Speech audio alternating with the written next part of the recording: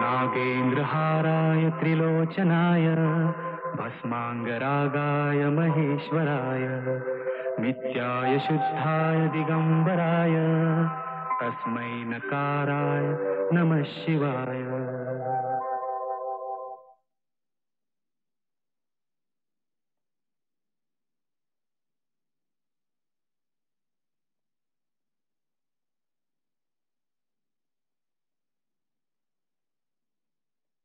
में कहीं चल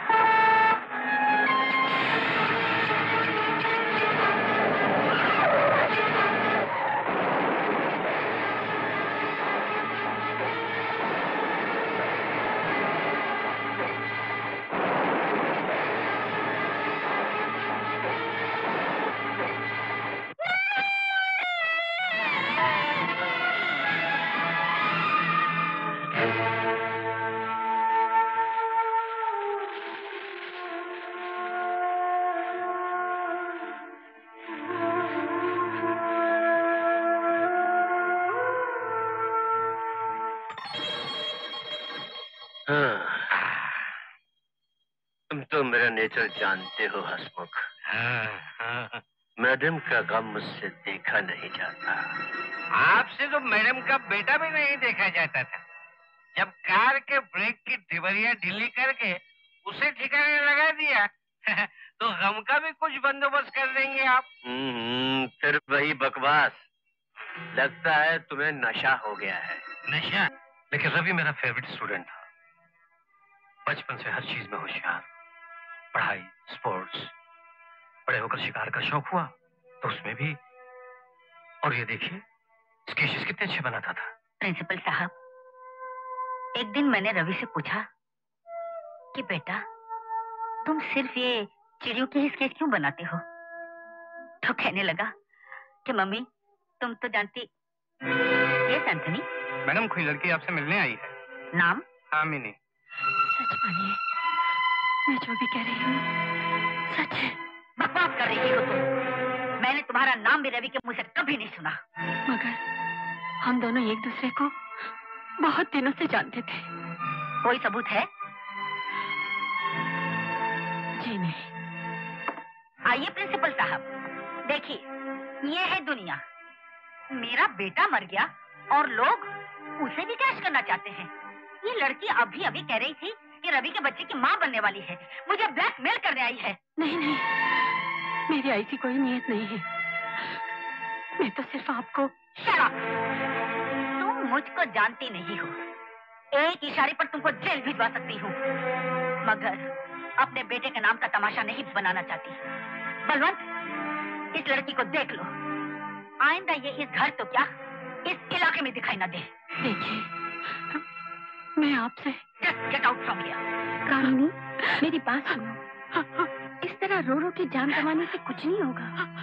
देखो कामिनी तुम शांति की सहेली हो और मैं शांति का हस्बैंड हूँ। इस रिश्ते से अगर तुम मुझे कुछ कहने की इजाज़त दो तो मैं कहूँ कैसे बात करते हैं विनोद भैया? आप दोनों के सिवा मेरा है एक कौन? कहिए क्या कहना चाहते हैं? शांति कामिनी के लिए पानी हाँ हाँ। कामिनी भूल जाओ रवि की माँ ने तुमसे जो कुछ भी कहा। नहीं विनोद भैया। मुझे उनसे कोई शिकायत नहीं।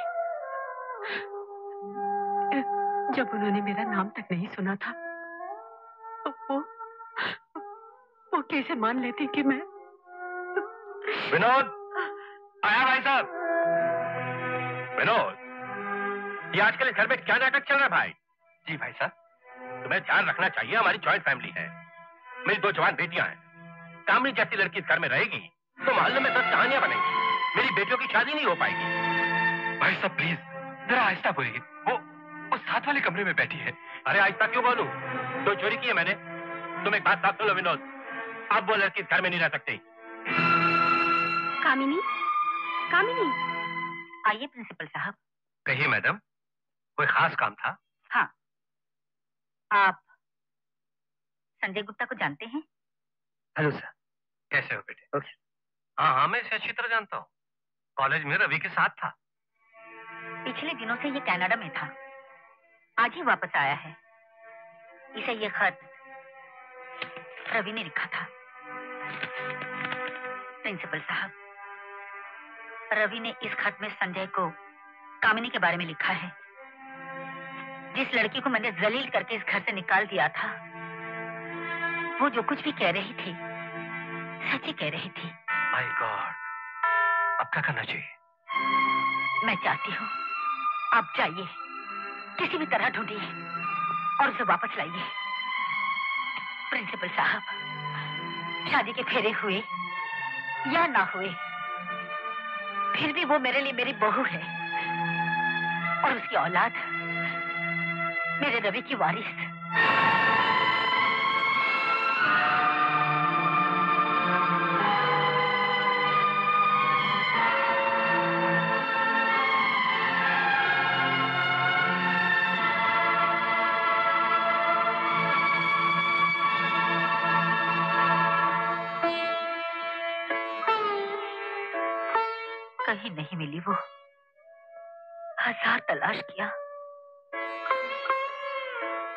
गलती हुई है मुझसे?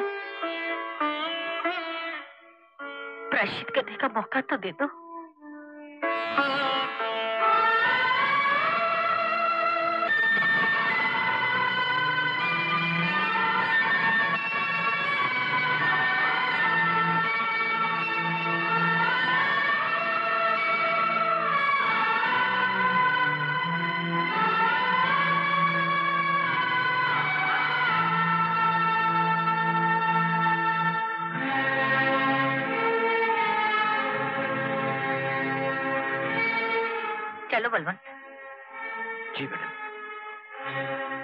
एक मैडम परसों से आप इस मंदिर में आकर एक ही मुराद मांग रही हैं। क्यों नहीं आप मुझे अपने गम में शरीक कर लेती? मैं भी प्रभु के सामने हाथ जोड़कर ये प्रार्थना करूँ कि कहीं से कैसे भी कामनी और उसकी औलाद को आपसे मिला दे। जो पाप मुझसे हुआ है उसका प्रायश्चित भी मुझे ही करना है बलवंत। मगर इतने दिनों से आप जो गम झेल रही है मैं सोचता हूँ तो मुझ पर क्या गुजरती है? अब क्या बताऊँ, मैडम? आप तो मेरा नेचर जानती हैं। बलवंत, मैं जितनी बार इस मंदिर में आई हूँ, मेरा विश्वास और मज़बूत हुआ है कि एक दिन मुझे कामिनी भी मिलेगी और इस दुनिया में रवि की बेटी या बेटा जो भी है, वो भी मैं उसे देखे बिना मरने वाली नहीं हूँ।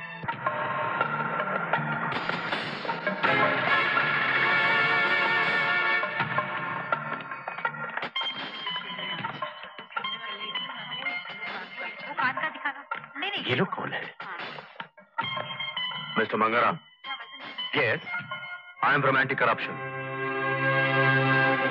ये रहा मेरा card chief inspector Datta Dharmadhikari मगर आप यहाँ क्यों मिस्टर मंगाराम हमें रिपोर्ट मिली है कि आप गैर कानूनी सोना खरीदते हैं और बेचते हैं ये मेरी टीम है इनमें से किसी का भी आइडेंटी कार्ड आप देखना चाहें तो आपको राइट है लेडीज़ एंड जेंटलमैन ये एक ऑफिशियल रेड है और जब तक ये चल रही है ना कोई बाहर जा सकता है ना कोई अंदर आ सकता है। ओह माय गॉड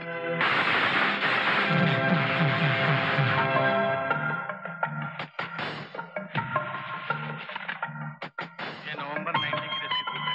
नोट करो।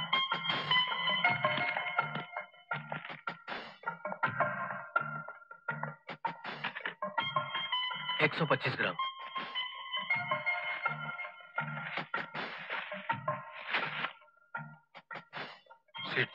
आधा सोना तो गैर कानूनी है। बहुत बुरे फंस जाएँगे हम लोग। कुछ न कुछ तो करना पड़ेगा। जी सर आप बिल्कुल इत्मीनान रखिए। काम बिल्कुल ठीक चल रहा है। ये बस मुझे लगता है दो तीन घंटे और लगेंगे। जी ठीक है। मैं आ जाता हूँ। यस इजाज़त हो तो एक मिनट बात कर सकता हूँ आपसे? कहिए। धर्म अधिकारी जी आप तो समझदार आदमी लगते हैं। कोई ऐसी तरकीब नहीं हो सकती कि आप भी खुश हो जाएँ। और हम भी परेशान न हो। मेरी बात समझ रहे ना आप? सर ये ज्वेलरी। एक मिनट। मैं आपकी बात बहुत अच्छी तरह समझ रहा हूँ मिस्टर मंगाराम। मगर आप ये समझ लीजिए अगर आपने मुझे रिश्वत देने की कोशिश की तो अरेस्ट करवा दूँगा आपको। जी मैं मैं तो ये कह रहा था Shut क्या समझते हैं आप लोग? कि हर आदमी का ईमान बिका होता है? हाँ बोलो क्या बात है? सर ये ज्वेलरी है जिसकी पूरी डिटेल लिख ली गई है। इस पर इनके अकाउंटेंट के साइन लिए? जी। रमेश मैं घंटे भर में लौटता हूँ। Okay sir. Bag.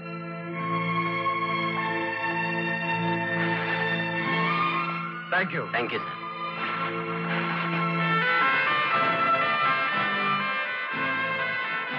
Ramesh जरा मंगाराम को फ़ोन देना। एक्सक्यूज मी सर है फ़ोन पर। किसका सर है फ़ोन पर। नहीं नहीं दत्ता धर्माधिकारी सर है फ़ोन पर। Sir hello. जी मैं मंगाराम बोल रहा हूँ। मंगू इतनी उम्र हो गई तुम्हारी लेकिन बचपना नहीं गया। जी? अब सुनो तुम्हें करना क्या उन लड़कों से कहो कि अपने अपने घर जाए। तुम दुकान पर लगाओ ताला और सीधे लपको पुलिस स्टेशन। जी? Police station? अरे दिन दहाड़े तुम्हारी दुकान लुट गई पुलिस में रिपोर्ट नहीं लिखवाओगे क्या? टूट गया!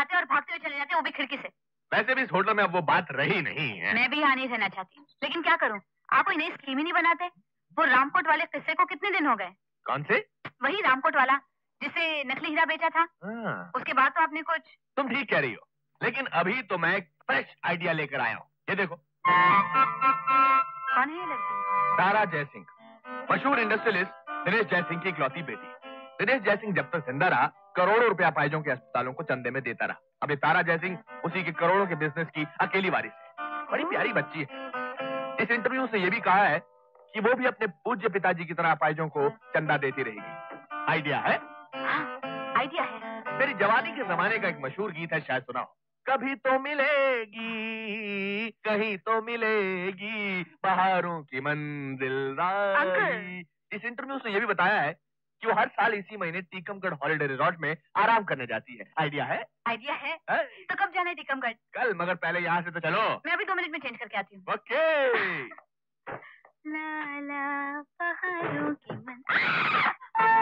हेलो। माफ़ी चाहता हूँ कि मेरी वजह से लोगों ने आपके मेकअप रूम को हाईवे बना दिया। एनीवे anyway, मेरे लिए फैसला करना मुश्किल है कि आप ज़्यादा अच्छा गाती हैं या नाचती हैं। या आपकी खूबसूरती इन दोनों खूबियों से भी ज़्यादा है।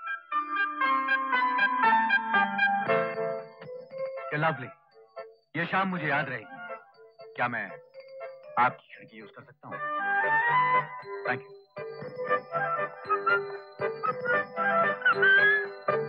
और हाँ तारा जयसिंह वाला आइडिया सचमुच बहुत अच्छा है।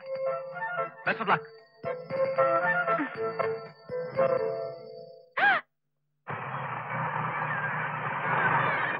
भाई अरुण, मैं तुम्हारा किस तरह शुक्रिया अदा करूँ? किसी तरह भी ना कीजिए सिन्हा साहब। मैं जो भी कमाता हूँ, उसका एक हिस्सा इस अनाथाश्रम को देना अपना फ़र्ज़ समझता हूँ। आखिर बरसों रहा हूँ। बरसों तो यहाँ बहुत से लड़के रहे, लेकिन बाद में कौन याद करता है? कुछ ही ऐसे लड़के होते हैं, जैसे कि तुम। ये देखो, तुम जैसे लड़कों की मैंने यहाँ तस्वीरें लगा रखी हैं। आज तुम बहुत तरक्की कर गए हो, जैसा कि तुम बताते हो कि तुम्हारा इंपोर्ट एक्सपोर्ट का बिज़नेस है। अच्छा सिन्हा साहब, मैं चलता हूँ। भाई, कुछ चाय वाय तो पी के जाओ। अगली बार सर, असल में कुछ दिनों के लिए मैं बाहर जा रहा हूँ। तैयारी करनी है।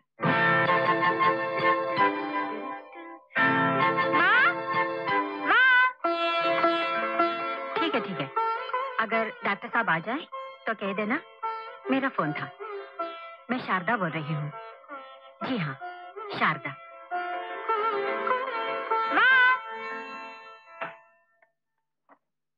हुआ क्यों चिल्ला रही हो?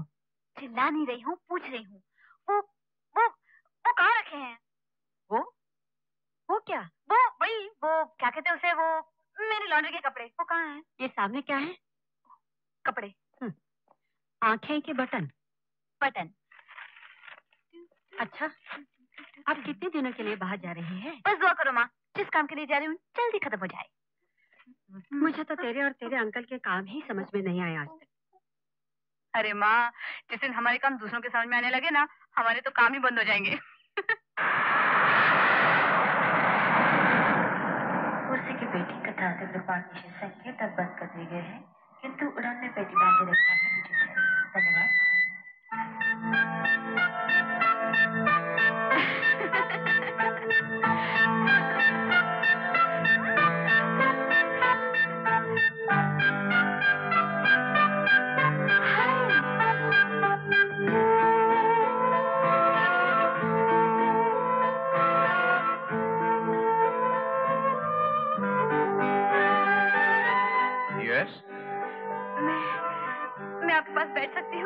हूँ sure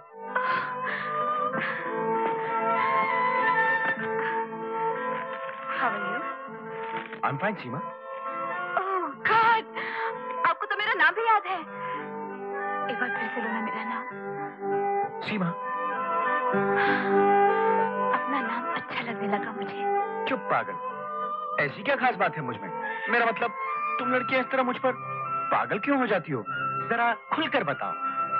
आपको देखकर ऐसा लगता है कि सपनों ने इंसान का रूप ले लिया है। कैसी बातें कर रही हो बावली? कुछ नहीं हूँ मैं। आप क्या जानो? आप क्या है? यकीन करना चाहती हूँ कि आप सचमुच हैं। आपको छू के देख लूँ?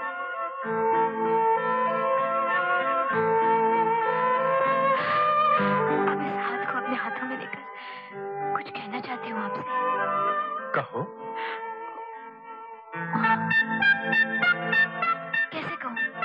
ये सब सुन रही है हमारी बातें। यू राइट चलो बाहर चलते हैं। वॉकिंग की वॉकिंग हो जाएगी और टॉकिंग की टॉकिंग हो जाएगी। कम नमस्कार। नमस्कार। हम जरा घूम कर आते हैं। Please open the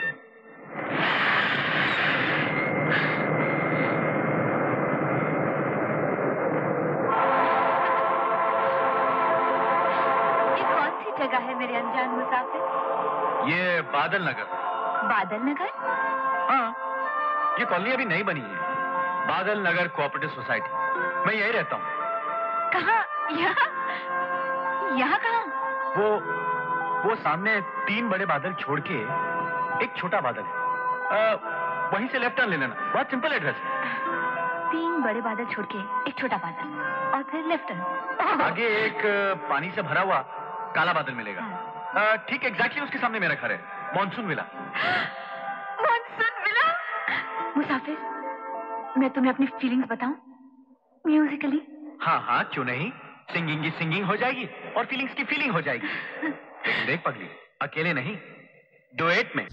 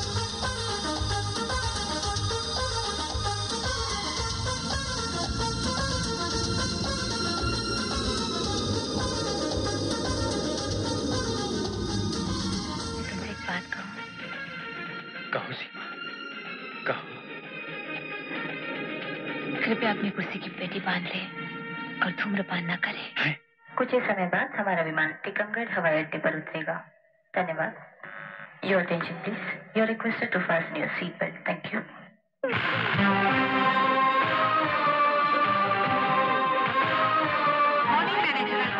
good morning welcome madam welcome welcome good to see you again hello mister Saxena how are you I am fine madam thank you मेरा कॉटेज वही जो हर साल होता है it's booked good hi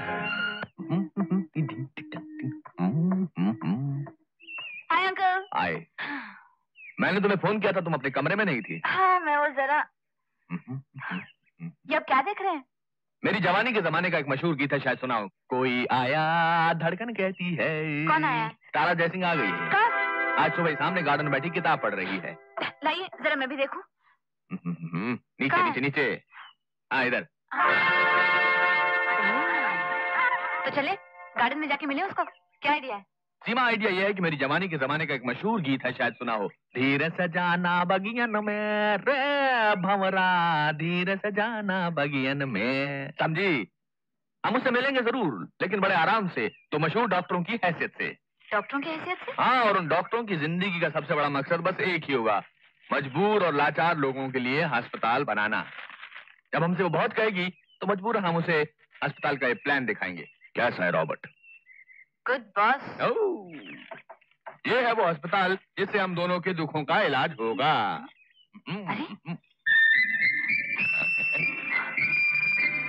uncle. या।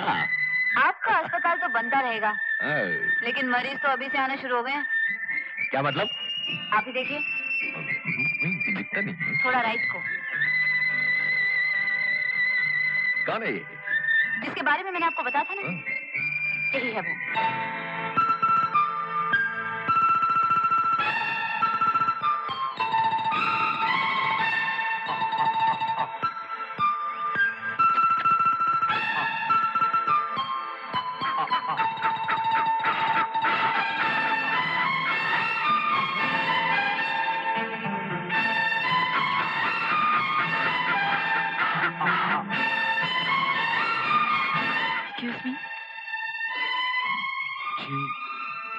आपने मुझसे कुछ। जी हाँ। आप इन हंसों को कुछ खिलाना चाहते हैं ना? I mean if you don't mind मैं? आप thank you thank you very much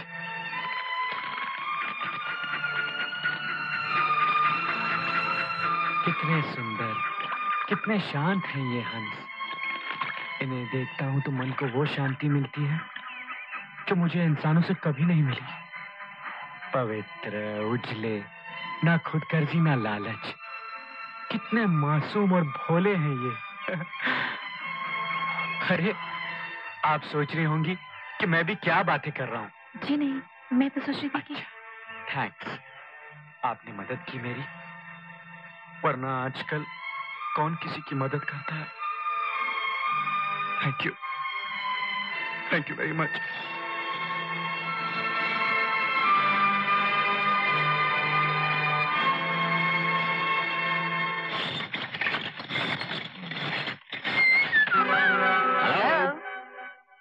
hello तो सीमा? ये है वो। जी हाँ अंकल। यही है वो। सीमा मुझे मेरी जवानी के जमाने का एक बड़ा मशहूर गीत याद आ रहा है। हम्म शायद सुनाओ। मार दिया जाए कि छोड़ दिया जाए बोल तेरे साथ क्या सलूक किया जाए। जी हाँ गीत तो सुना है। लेकिन ये सुनाइए कि मैं आप लोगों के लिए क्या कर सकता हूँ? यस बॉस अगर तुम हमारे लिए कुछ कर सकते हो तो बस इतना करो कि यहाँ से रवाना हो जाओ। मकतूर हो जाओ उड़नछू हो जाओ नौ दो ग्यारह हो जाओ वरना। वरना? वरना हम भी बहुत कुछ कर सकते हैं तुम्हारे लिए। जैसे कि? तुम्हारी पोल खोल सकते हैं। तुम्हें पकड़वा सकते हैं? तुम्हें जेल भिजवा सकते हैं। अंकल कहो भतीजे। भतीजे आपकी जवानी के जमाने की मशहूर फ़िल्म का मशहूर डायलॉग शायद आप लोगों को याद होगा।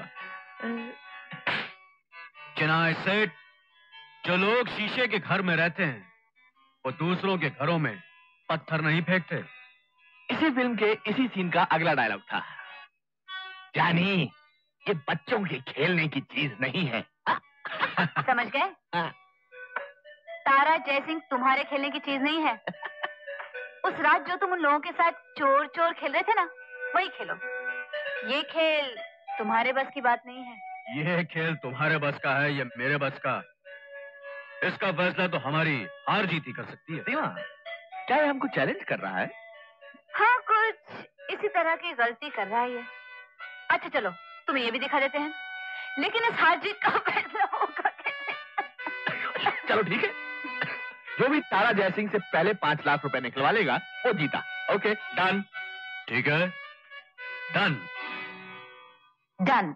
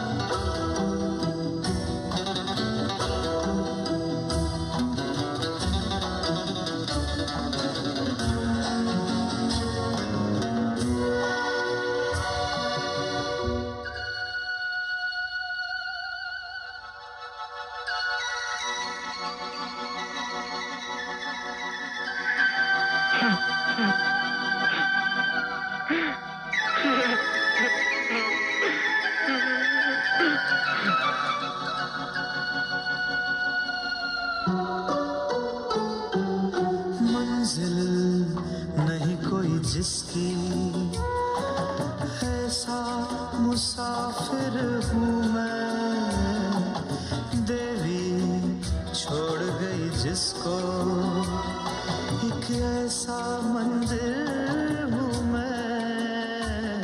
मेरे आँसू खून तेरे, मेरा लहू तेरी कुमकुम। सुने शाम सवेरे, तब से है मेरे, जब से गए तुम।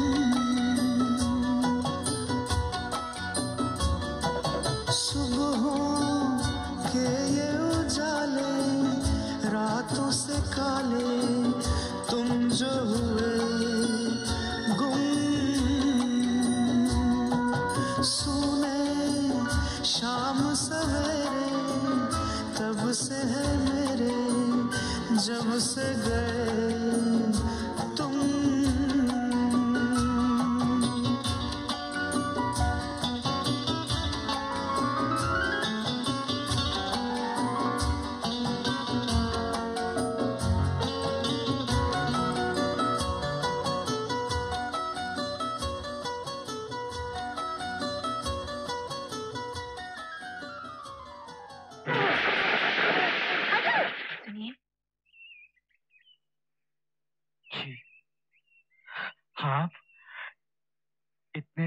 सवेरे? आपका गीत मुझे यहाँ तक खींच लाया। बहुत दर्द है आपकी आवाज़ में। थैंक यू मेरा नाम तारा है तारा जय सिंह। हेलो अच्छा मैं चलता हूँ। सुनिए आपने अपना नाम नहीं बताया? जी मेरा नाम देवदास है। देवदास? देखा कैसे घुल मिल के बातें कर रहे हैं। सही कह रही हो। लड़की के तेवर से लगता है जैसे अभी चाय पर बुलाने ही वाली है। आज शाम को तुम मेरे साथ चाय क्यों नहीं पीते? ये कम वक्त पहले नखरे करेगा। चाय आपके साथ मैं चाय आपके साथ मैं? वो वो कहेगी मेरे साथ चाय पियोगे तो मुझे बहुत खुशी होगी। मेरे साथ चाय पियोगे तो मुझे बहुत खुशी होगी देवदास। खुशी? किसी को मैं क्या खुशी दे सकता हूँ? क्यों नहीं दे सकते तुम खुशी? अच्छा तुम कहती हो तो आ जाऊँगा। वादा? पक्का वादा पाँच बजे। पाँच बजे। बाय तारा। बाय। रॉबर्ट ये तो सीढ़ी ऐसे चढ़ रहा है। झप झप झप झप। बॉस हाँ। तो फिर जल्दी से सीढ़ी खींचनी पड़ेगी। अरे करेक्ट। मेरे जमाने के जमाने का एक मशहूर गीत है शायद सुनाओ। हाँ। तेरी गठरी में लागा चोर मुसाफिर जाग जरा। और तेरी गठरी में लागा सुना है सुना है सुना है। ओके। तो फिर अब ये देखना है हाँ। कि ये चोर हम्म। तारा से मिलने कब आता है। आंटी हम्म? आप टिकमगढ़ आई हैं तो यहीं क्यों नहीं ठहर जाते? नहीं बेटी मेरा शहर में रहना बहुत ज़रूरी है। रोज मीटिंगें होती हैं। पता चला कि तुम यहाँ आई हो तो मिलने चली आई। तुमने तो अपने डैडी के बाद जैसे हमसे रिश्ता ही तोड़ लिया है। नहीं आंटी ऐसी बात नहीं है। आपकी बात मैं चांदीपुर आऊँगी। गुड ज़रूर आना। Bye bye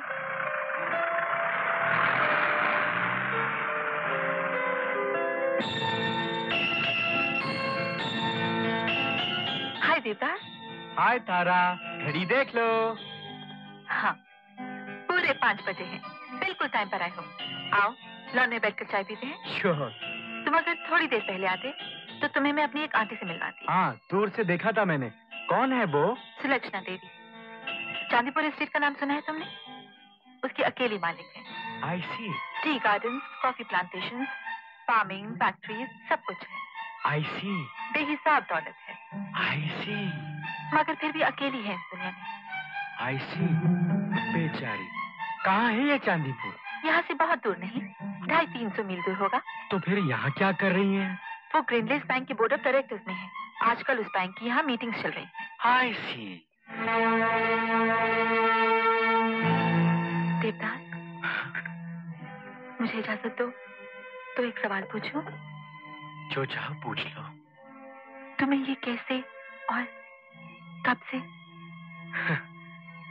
मैं इस व्हीलचेयर पर एक अपायज की ज़िंदगी कब से और क्यों गुजार रहा हूँ यही पूछना चाहती हूँ।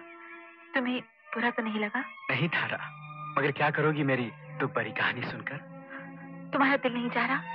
तो कोई बात नहीं। नहीं तारा तुमने पूछ ही लिया तो सुनो। आज मेरी ज़िंदगी गमों की एक अंधेरी रात है। तो कभी खुशियों का सवेरा भी था।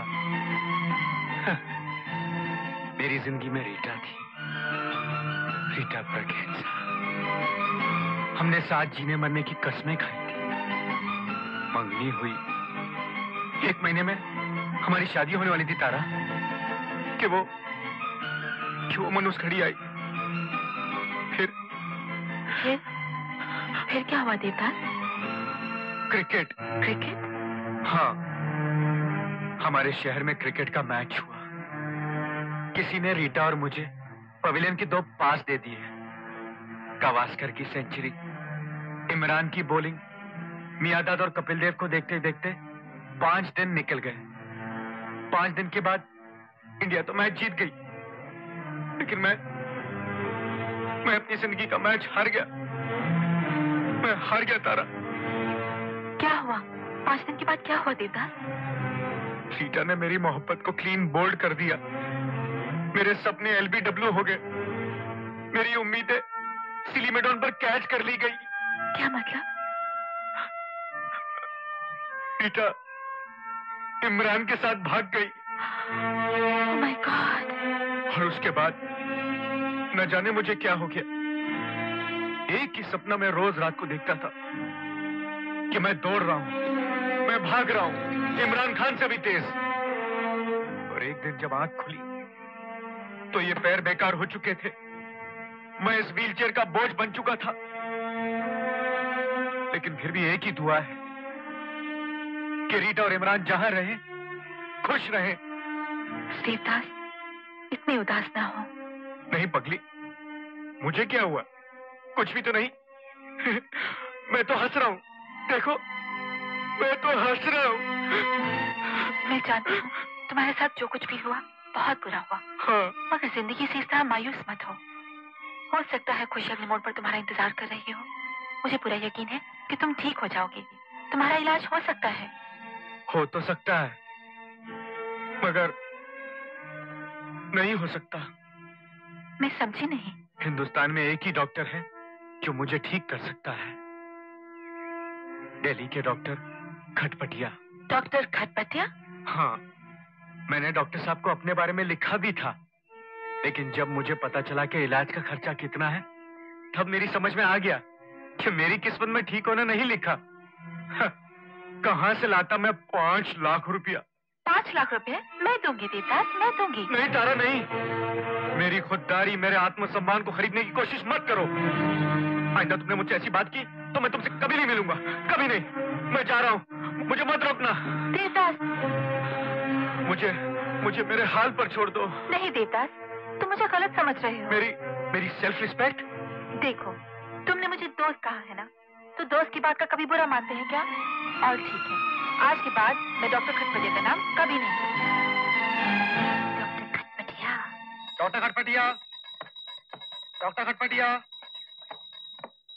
Doctor Khatpatiya. Doctor Khatpatiya? Doctor Khatpatiya. Thank you thank you लगता मरीज़ यहाँ भी पीछा नहीं छोड़ेंगे। डॉक्टर खटपटिया आप छुट्टी पर हैं। मैं नहीं चाहती कि आप अपने दिमाग पर कोई भी ज़ोर डालें। ठीक है। एक्सक्यूज मी क्या आप ही दिल्ली के वो मशहूर डॉक्टर खटपटिया हैं? मशहूर का तो पता नहीं लेकिन दिल्ली का हूँ और खटपटिया हूँ। डॉक्टर मुझे यकीन ही नहीं हो रहा।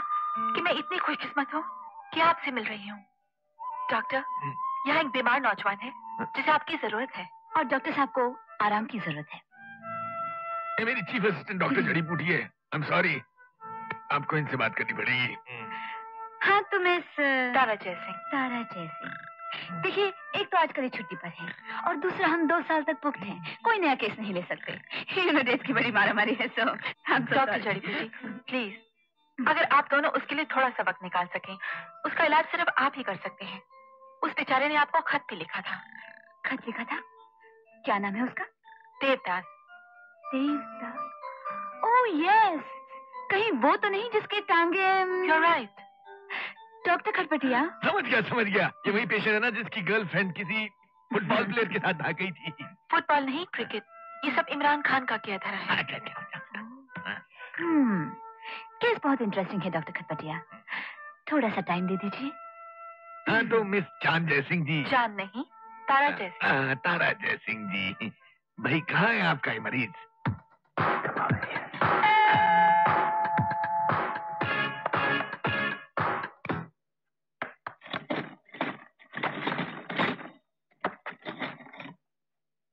Come in.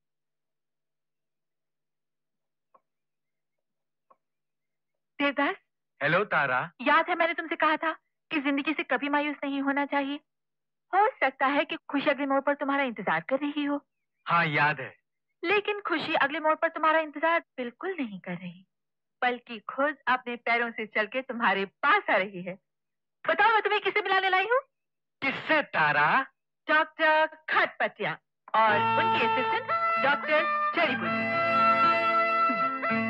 hello hello अरे इतना मायूस दिखाई देने की कोई ज़रूरत नहीं है। हम लोग अब आ गए हैं। और अब तुम्हारा ऐसा इलाज होगा कि तुम बिल्कुल ठीक हो जाओगे ओके? ओके? नहीं डॉक्टर। मेरा ठीक होना बहुत मुश्किल है। कोई मुश्किल काम नहीं है। चलना तो बहुत मामूली बात है। अगर तुम भागने न लोगे तो हम किस काम के डॉक्टर हैं? डॉक्टर फटपटिया खटपटिया। क्या देवता वाकई भागने लगेगा? क्यों नहीं? हम भगाएँगे इन्हें। सुना? सुना देवदास ये सुन भी रहे हैं। और समझ भी रहे हैं। लेकिन तुम्हारा इलाज शुरू करने से पहले हम तुम्हारा प्रॉब्लम अच्छी तरह से समझ लेना चाहते हैं। डॉक्टर जड़ी बूटी डॉक्टर खटपटिया क्यों? कुछ महसूस होता है? नहीं बिल्कुल नहीं। आज तो सिर्फ़ तुम्हारा चेकअप होगा। फिर हम सोचेंगे कि इलाज करना है और कैसे करना है।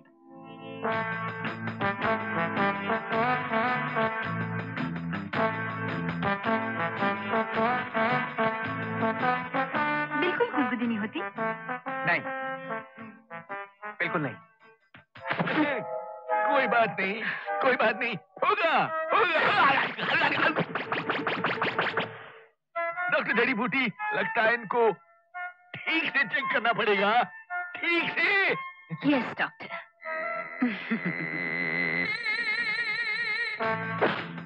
कुछ हुआ? नो एक्सक्यूज मी डॉक्टर क्या क्या? अभी नहीं? नो डॉक्टर बूटी मेरे ख्याल से एक ही जगह पर इनको दो तीन बार ज़ोर से मारा जाए तो शायद इनको पता चले। ओके ये भी ट्राई कर लेते हैं। बिल्कुल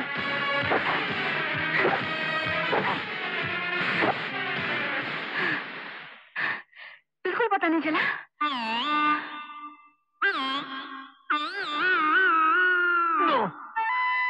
रुक जाइए डॉक्टर इन्हें दर्द हो रहा होगा। तारा जी काश इन्हें दर्द हो। तकलीफ़ हो।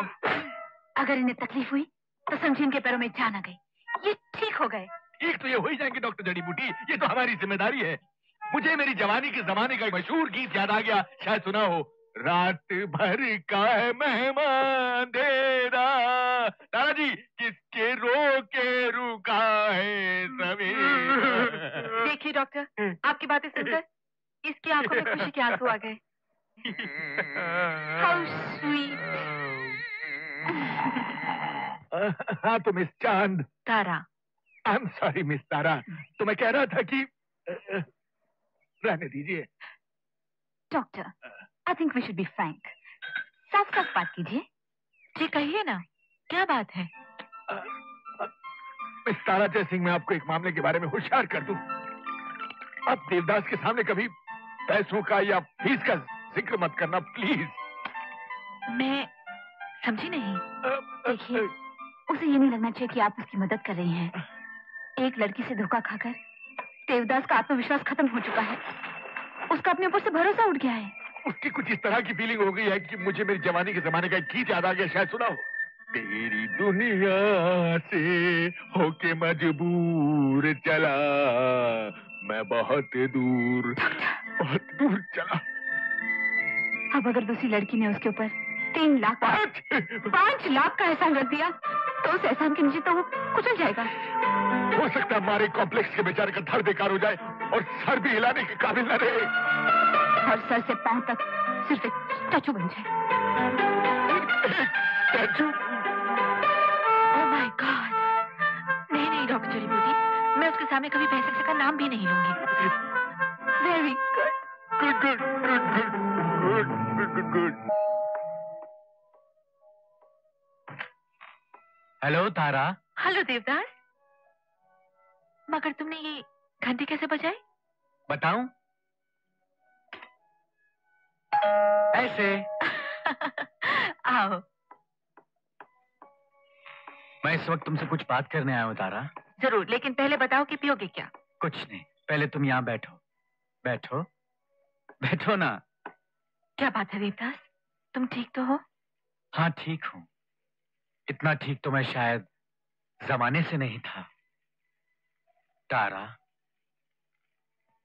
मैं समझ गया हूँ कि मेरी बीमारी जिस्मानी नहीं जज्बाती है।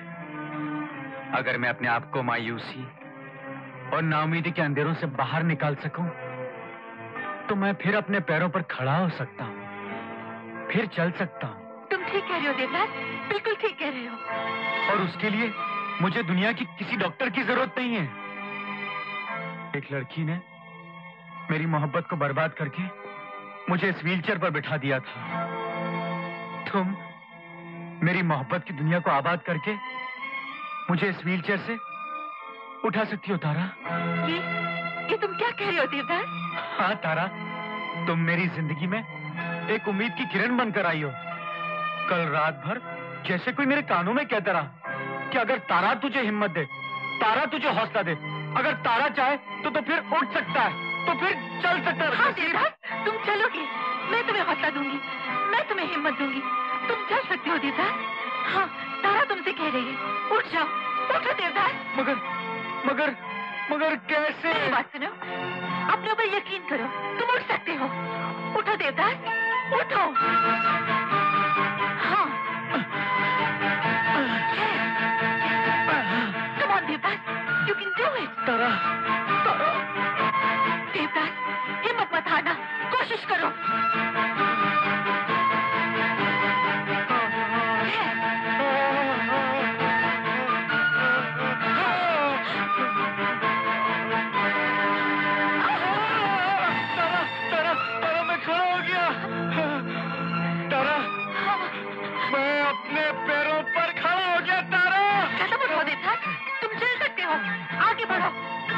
आगे बढ़ो। भगवान शाबाश देवदास शाबाश। आगे। घबराओ मत तारा मैं चल सकता हूँ। मैं चल सकता हूँ। मुझे कोई डॉक्टर नहीं चाहिए। मुझे कोई खटपटिया नहीं चाहिए। कोई जड़ी बूटी नहीं चाहिए। मुझे सिर्फ़ तुम चाहिए तारा। आगे आओ देवदास और आगे आओ मैं आ रहा हूँ Tara. I am coming my god चल रहा हूँ तारा मैं चल सकता हूँ तारा मेरी ज़िंदगी बदल दी well done Devdas well done congratulation Devdas देखा मिस तारा जयसिंह देखा? आप लोग? देवदास ये लोग ये लोग जीनियस हैं। देखो इन्होंने तुम्हें ठीक कर दिया। लेकिन लेकिन मैं तो मैं तो खुद ही तुम्हें पता है इन लोगों ने मुझे पहले ही बता दिया था कि शायद आज तुम यहाँ आओगी और अगर आए तो ज़रूर अपने पैरों पर खड़े हो जाओगे चलने लगोगे। मगर आप लोगों को ये कैसे पता चला डॉक्टर?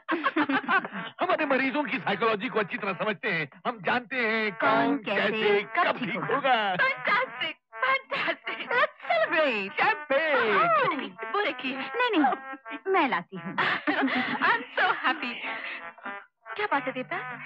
तुम इतने खुश क्यों नहीं लग रहे जितना तुम्हें होना चाहिए? आ, मैं मैं तो मैं तो बहुत खुश हूँ। बात को समझो इस बेचारे ने इतने दिनों तक अपने गम को छुपाए रखा अभी अपनी खुशी को छुपा रहा है वरना इसका दिल मारे खुशी की यही कह रहा है। मेरी जवानी के जमाने का मशहूर गीत है शायद सुनाओ दुख भरे दिन बीते रे भैया अब सुख आयो रे। इसके वक्त इसके मन में खुशी का एक तूफ़ान मच रहा है। ये हमारी खुशी के बेहोश भी हो सकता है। बेहोश हो जाएगा। यू। आर राइट डॉक्टर मैं इस वक्त खुशी से फूला नहीं समा रहा इस खुशी में कि तुम अपने पाँव पर खड़े हो गए हो और तुम हम सबको अब चलते दिखाई दोगे। डॉक्टर खटपटिया डॉक्टर चाईबुटी चीज़ देवता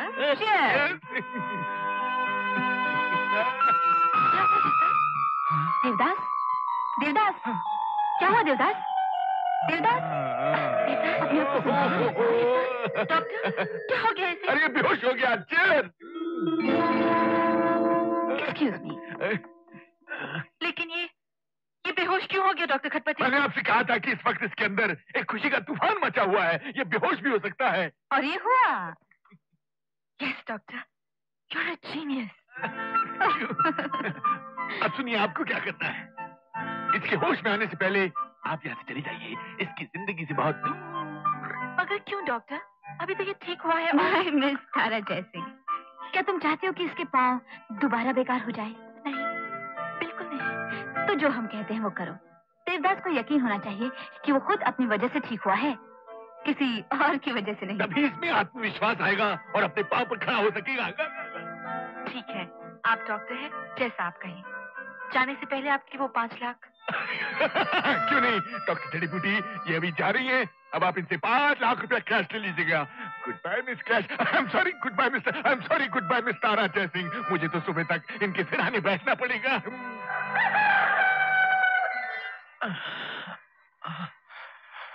Good morning sir good morning ये ये वो जो मेम साहब यहाँ ठहरी थी वो? वो तो चली गई। और वो डॉक्टर खटपटिया और जड़ी बूटी? जी कौन सर चलो। अंकल इस तारा जयसिंह से हम और भी बहुत कुछ निकलवा सकते हैं रबड़ को इतना ना खींचो सीमा की वो टूट जाए। पाँच लाख मिलकर काफ़ी है उधर जाना है। डॉक्टर खटपटिया डॉक्टर जड़ी बूटी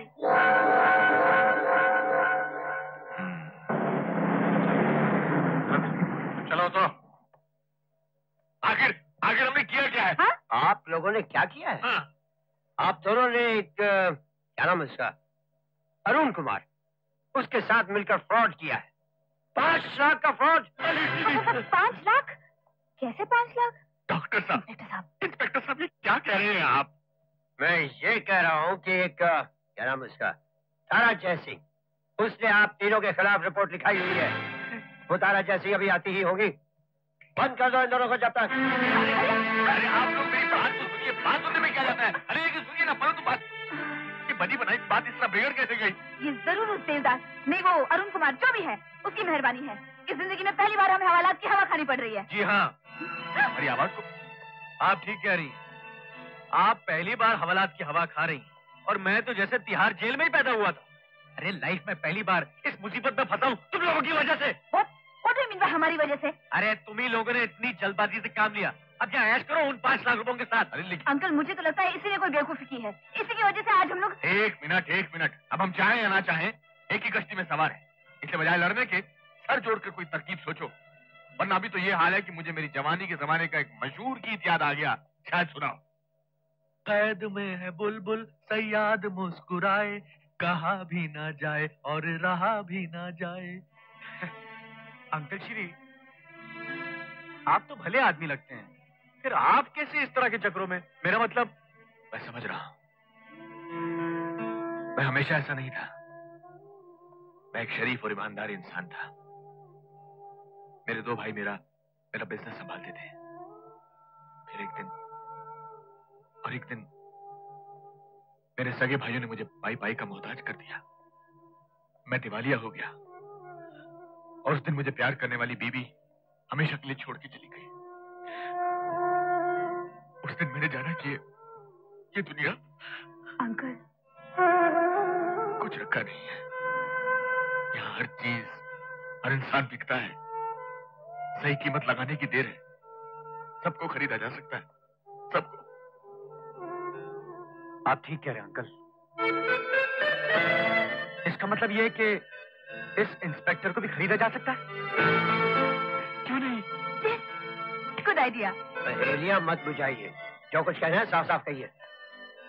तो फिर सुनिए। हमारे बैग में पाँच लाख रुपया है। वो पाँच लाख रुपए तारा जयसिंह को मिल जाए और हम जेल चले जाएँ इसमें ना तो हमारा फ़ायदा ना आपका। आपका और हमारा फ़ायदा तो इसमें है कि हम जेल ना जाएँ। और ये पाँच लाख रुपए तारा जयसिंह के बजाय आपको मिल जाए। हम्म। तो आप लोग मुझे रिश्वत देना चाहते हैं? क्यों? आप बिल्कुल ठीक समझे इंस्पेक्टर साहब। हम आपको पाँच लाख रुपए रिश्वत देना चाहते हैं। अरे जान छोटी लाखों पाए। घर के बुद्धू घर को आए। मगर यार इस किस्से में जितने आए उतने चले गए। खाया पिया कुछ नहीं और गिलास थोड़ा पार आना। अगर भैया कोई ऐसा खेल हो जो हम सब लोग मिलकर खेल सके तो हमारा नंबर है बम्बई का। टैक्सी अच्छा हम लोग चलते हैं। वेरी नाइस मीटिंग सेम यार nice meeting you okay bye bye come on Seema bye uncle. आपने मुझे आज तक अपने भाइयों और बीवी का किस्सा पहले तो कभी नहीं सुनाया। पहले कैसे सुना था वो किस्सा तो मैंने वही जेल में बैठे बैठे बनाया था। मतलब वो सब झूठ? हाँ बिल्कुल झूठ। मगर क्यों? अब सीमा मैं इतना भी लालची नहीं हूँ उनके बिना किसी फ़ायदे के झूठ ही ना बोलूँ। वैसे काफ़ी इमोशनल हो गया था अरुण कुमार मेरी कहानी सुन के। ओह माय गॉड क्या हुआ? मैं अपना वैनिटी केस पुलिस स्टेशन में भुलाई हूँ। अरे अरे जाओ जल्दी पुलिस स्टेशन चलो। अरे टेलीफोन उठाओ नहीं तो आज का भी भाड़ा लग जाएगा। चलो उठाओ। जल्दी करो। जल्दी जल्दी जल्दी। अरे भी सुनो। ये पुलिस स्टेशन तोड़ क्यों रहे हो? कहीं और शिफ्ट हो रहा है क्या? Police station? अरे ये तो हमने पुलिस स्टेशन का सेट लगाया हुआ था। जल्दी जल्दी। आप कौन? अरे साहब मैं इस कंपनी का प्रोडक्शन मैनेजर हूँ। प्रेम जल्दी चाय पिला मगर अभी थोड़ी देर पहले तो यहाँ आए। ये साहब पुलिस स्टेशन नकली था समझे आप? अरे चाय पिलाएगा कि नहीं? और यहाँ जो पुलिस वाले थे वो? अरे साहब वो सब नकली पुलिस वाले थे। अरे जल्दी सामान उठा ना। और हमारे पाँच लाख रुपए। मारू मारू देवदास की जेब में। बहुत अच्छी एक्टिंग करते हैं आप लोग बहुत अच्छी। ये तुम्हारे लिए Macmohan thank you very much Arun लेकिन यार तुमने भी हम्म, खाएँगे? नहीं मैं ये फल फ्रूट नहीं खाऊँगा। अभी मुझे दो तीन दिन भूखा रहना है। यार मैकी बोलो। तुम मेरे लिए एक छोटी सी एक्टिंग और करोगे? ओह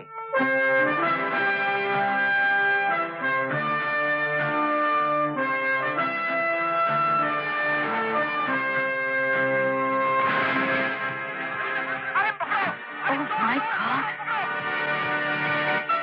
क्या हुआ क्या हुआ क्या बात हद हो गई साहब। दिन दहाड़े एक आदमी मैडम का पर्स लेकर भाग गया। पर्स में कुछ ज़्यादा तो नहीं था? नहीं ऐसे कोई आठ दस हज़ार। मगर कुछ इम्पोर्टेंट पेपर्स थे। एक्सक्यूज मी ये ये आपका पर्स।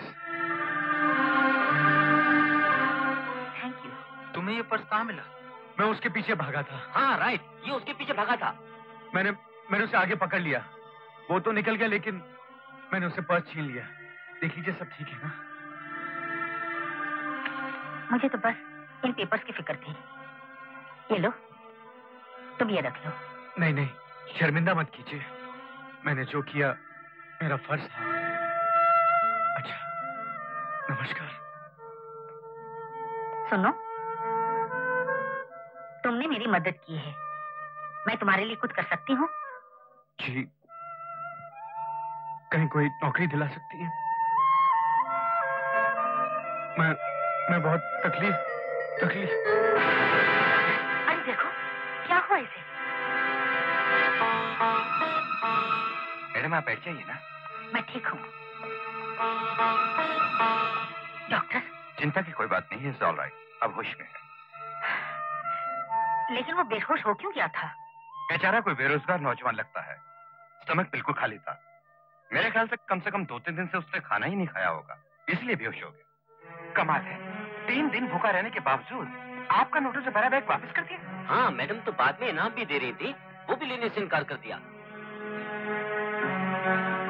डॉक्टर क्या मैं उस लड़के से मिल सकती हूँ? नहीं नहीं लेटे रहो लेटे रहो। मैं ठीक हूँ। बैठिए ना। आपने बेकार यहाँ आने की तकलीफ़ की। नहीं तकलीफ़ कैसी? तुम कहाँ रहते हो? तुम्हारे घर वालों की इतला करनी हो तो? जी मेरा कोई नहीं है। कोई नहीं। माँ तो मेरे जन्म के साथ ही इस दुनिया से पिताजी ने पाला। मेरी उम्र पंद्रह बरस की थी। तब वो भी इस दुनिया से। बचा मैं एक दिन नहीं नहीं ऐसा नहीं कहते। क्या करते थे तुम्हारे पिताजी? टीचर थे। मास्टर दीनानाथ। हमेशा कहते थे अरुण बेटे, मेरे पास कोई दौलत है तो ये ईमानदारी। एक खजाना तुम्हें देकर जा रहा हूँ। इसे कभी लुटने ना देना मेरे लाल। पता नहीं, मैं अपने पिताजी के आदर्शों की रक्षा कर पाऊँगा या नहीं। क्यों नहीं कर पाओगे? कर तो रहे हो। आज अगर तुम्हारे पिता मास्टर दीनानाथ होते तो तुम पर फख्र करते वो गौरव करते।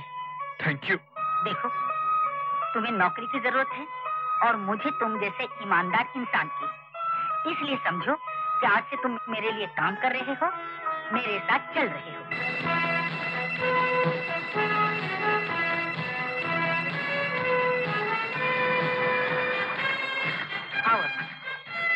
वेलकम मैडम नमस्ते जी। मैडम आप ठीक तो हैं? हाँ। क्यों? क्या हुआ है मुझे? जी मुझे ऐसी खबर मिली थी कि किसी चोर ने आपका बैग और ये खबर मिलते ही बलवंत जी के हाथ पाँव ऐसे बर्फ़ की तरह ठंडे हो गए कि आप तो मेरा नेचर जानती हैं। ये अरुण है। इसी ने उस चोर से मेरा बैग छीना था। ओ see thank you thank you very much alright अब अरुण यही काम करेगा। एंथनी यस मैडम एंथनी इनका सामान ऊपर गेस्ट रूम में ले जाओ। ओके मैडम वो सामने रहा आपका कमरा। वो नहीं, आपका कमरा इधर है। आइए। वो कमरा तो बरसों से बंद है। आइए, सर। वो कमरा बरसों से क्यों बंद है? वो मैडम का इकलौते बेटे रवि साहब का कमरा था। अच्छा अच्छा। आपको अपना कमरा पसंद आया, सर? वेरी नाइस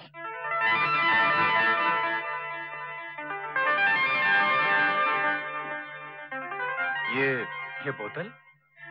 वो वो लगता है सर पिछले हफ़्ते मैडम का कुछ गेस्ट आया था। उनकी होगी लाइए। सर आपको किसी चीज़ का ज़रूरत हो तो घंटी बजा दीजिएगा। Thank you you are most welcome sir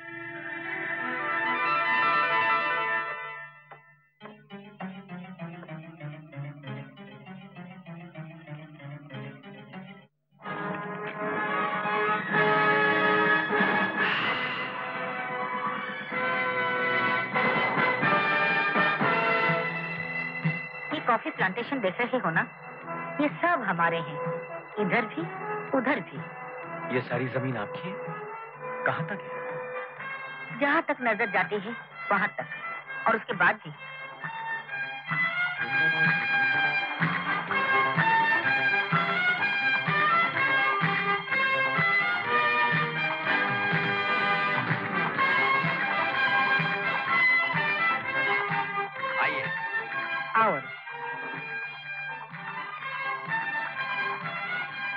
Good morning good morning madam morning madam morning madam ये लो मैडम एक चेक और. ओफो तुम लोगों ने मुझे दस्तखत करने की मशीन समझ रखा है। चलो लो। Excuse me madam coffee seeds processing के लिए जो हम नया प्लांट लगा रहे हैं हम्म। उसका ब्लूप्रिंट तैयार हो गया है। आप अगर एक नज़र से देख लेती तो ओह श्योर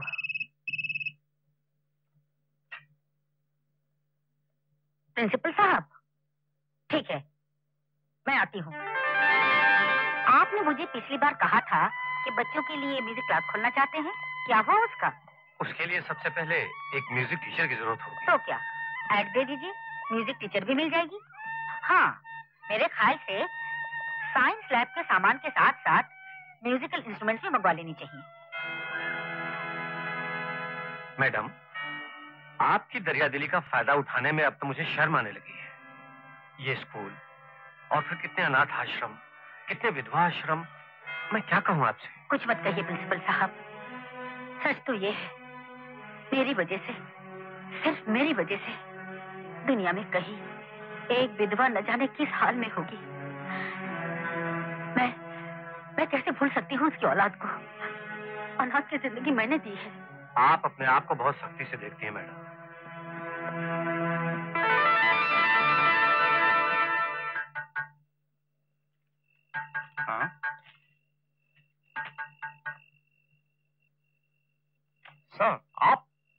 बेल दिया होता? मैं अंदर आ सकता हूँ। प्लीज़ आइए सर कमरा काफ़ी अच्छा है एंथनी मैडम अपने नौकरों का बहुत ख्याल रखती हैं। मैं कुछ कर सकता हूँ आपके लिए? एंथनी दो ग्लास ले आओ। मुझे अकेले पीने की आदत नहीं है। जी? अरे तकल्लुफ मत करो। जाओ दो ग्लास ले आओ। ओके सर गुड तुम यहाँ कब से काम कर रहे हो? ज़िंदगी यहीं गुजार दी सर एंथनी मुझे ऐसा क्यों लगता है कि मैडम के पास सब कुछ है? मगर फिर भी जैसे वो बहुत अकेली है। आप ठीक समझाया साहब। उनके बेटे का गुजरने के बाद जो भी हुआ मैडम उसका दुख आज भी अपने दिल पर लिए बैठी है। चीयर्स चीयर्स क्या हुआ था? मैडम के बेटे की ज़िंदगी में एक लड़की थी मगर ये बात मैडम नहीं जानती थी। रवि के दोस्त संजय गुप्ता ने जब ये बात उन्हें बताई तब बहुत देर हो चुकी थी। इसलिए तो आप लोगों को बहुत बड़ा ऑफ़र देने आया हूँ। ऑफ़र बाद में देना। पहले हमारे पाँच लाख रुपए दो। सूद समेत पाँच रुपया पर जी ज़िंदगी भर चवन्नी पर ही पाव रखोगे। अरे बड़ी बात सोचो बड़ी। कितने बड़े? मैं तुमसे हज़ारों लाखों की नहीं करोड़ों की बात करने आया हूँ करोड़ों की। चांदीपुर स्टेट का नाम सुना है? हाँ सुना है। कहाँ सुना है? अभी तुम इसे सुना है। अरे हंसो मत। बहुत बड़ी स्टेट है। उसकी मालकिन सुलक्षणा देवी को अपने बेटे की औलाद की तलाश है। वो ये भी नहीं जानती कि वो लड़का है या लड़की। मैं ये साबित कर दूँगा कि तुम उसकी पोती हो। करोड़ों की जायदाद है। फिफ्टी फिफ्टी एक मिनट एक मिनट। जब उन्हें ये भी नहीं पता कि जिसकी उन्हें तलाश है वो पोता है या पोती तो तुम खुद ही बन जाता बन सकता था। मगर मैं उनको अपने बाप मास्टर दीनानाथ की कहानी सुना चुका हूँ। ये प्रॉब्लम हो गया ना? ठीक है ठीक है समझ गए। अब ये बताओ स्कीम क्या है? अरे भाई ये वो गन हटाओ तो मैं कुछ बात शुरू करूँ। ये ये तो खिलौने हैं। खिलौने? हाँ। Like it, like ये फ़ोटो सुलक्षणा देवी के बेटे रवि की है। और ये स्केचेस जो रवि बनाता था। और ये कहानियों की किताब जो उसे स्कूल में इनाम में मिली थी। तो तो? ये कि इन्हीं की मदद से मैं तुम्हें सुलक्षणा देवी की पोती बना दूँगा। कैसे? बताता हूँ। पहले ये बताओ कि ये पार्टनरशिप पक्की? Fifty fifty. Fifty fifty.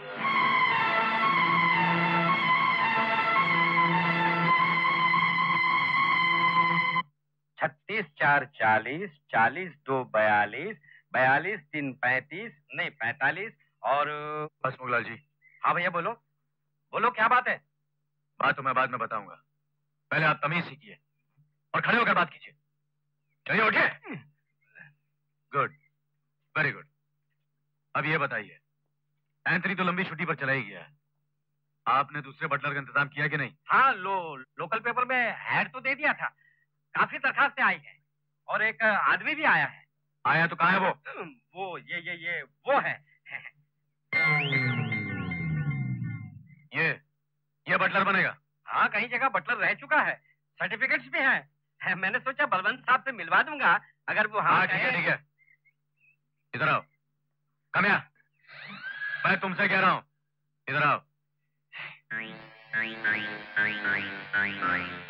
Good morning sir पहले कहाँ काम किया? सर्टिफिकेट सर जी सारी उम्र राजाओं महाराजाओं की अच्छा, अच्छा। में ये राजा महाराजा का रोब हम पर मत डालो। बस मुगलाल जी। जी ये आदमी तो मुझे ठीक नहीं लग रहा है। किसी और को रख लीजिए। मैं कह रहा था बलवंत साहब से एक बार मिलवा देते अरे तो- भाई वो देख कर क्या करेंगे? मैंने तुमसे कह दिया ना। जाओ भाई जाओ तुम। मैडम को स्कूल पहुंचाना था और वो अभी तक सर जी मैं जाऊँ? नहीं तुम रुको। रुको तुम।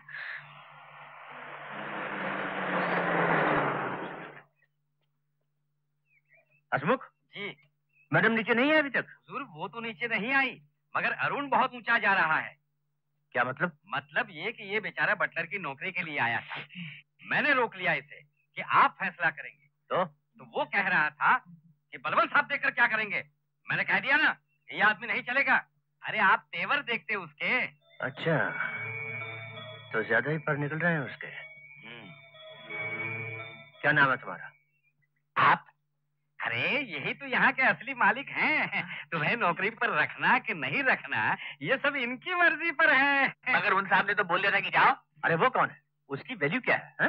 तुम आज से यही काम करोगे। सर मेरे सर्टिफिकेट कोई ज़रूरत नहीं हमने एक बार कह दिया कि तुम आज से यहाँ बटलर हो तो बटलर हो। उस दो टके की छोकरे की बात भूल जाओ। जाओ। जी सर बहुत बहुत मेहरबानी। उन साहब ने तो इनकार कर दिया था। मगर आपने मुझे नौकरी देकर वो एहसान किया है कि मुझे मेरी जवानी के जमाने का वो मशहूर गीत याद आ गया है। शायद सुना हो आपने? तुम ही हो माता पिता तुम ही हो तुम ही हो बंधु हाँ। सखा तुम ही हो सर इस वक्त ये फीलिंग है मेरी आपके बारे में। अरे भाई वाह तुम तो गाते भी बहुत अच्छा हो। जी। आज हमारे स्कूल में म्यूज़िक टीचर का सिलेक्शन है पहले बताते तो हम तुम ही को रख लेते हैं? तो आपने वहाँ कितने दिनों बच्चों को म्यूज़िक सिखाई है? जी सात बरस। गुड ठीक है। मिसेस चैटर्जी आप अपना पता बाहर लिखवा दीजिए हम आपको खबर कर देंगे जी थैंक यू नमस्ते क्यों प्रिंसिपल साहब मैडम अभी तक तो यही ठीक लग रही है। देखते हैं अगर कोई इससे बेहतर। मे आई कम इन सर कम इन मैडम ये आखिरी कैंडिडेट है आज के इंटरव्यू के लिए। नमस्ते जी नमस्ते जी नमस्ते जी नमस्ते जी। बैठो। थैंक यू तुम्हारी क्वालिफिकेशन हमारे सामने है। लेकिन ये बताओ कि म्यूज़िक को ही तुमने अपना सब्जेक्ट क्यों चुना? मैं संगीत को अपना सब्जेक्ट नहीं समझती। शौक भी नहीं समझती। पूजा समझती हूँ। जीवन में तो संगीत यूँ होना चाहिए जैसे तन में सांस होती है। लेकिन बच्चों को म्यूज़िक कैसे सिखाना चाहिए? इसके बारे में क्या सोचती हैं आप? बच्चे बच्चे तो वो फूल होते हैं जिन्हें अभी खिलना है। और और फूल तेज हवा के थपेड़ों से नहीं। नरम नरम हल्के हल्के हवा के झोंकों से मैं समझती हूँ बच्चों को राग रागिनिया बाद में। पहले हल्के फुल्के सीधे साधे भोले भाले गीत सिखाने चाहिए। भोले भाले गीत? अच्छा तो सुनाओ कोई भोला भाला गीत? भोला भाला गीत? हाँ हाँ सुनाओ।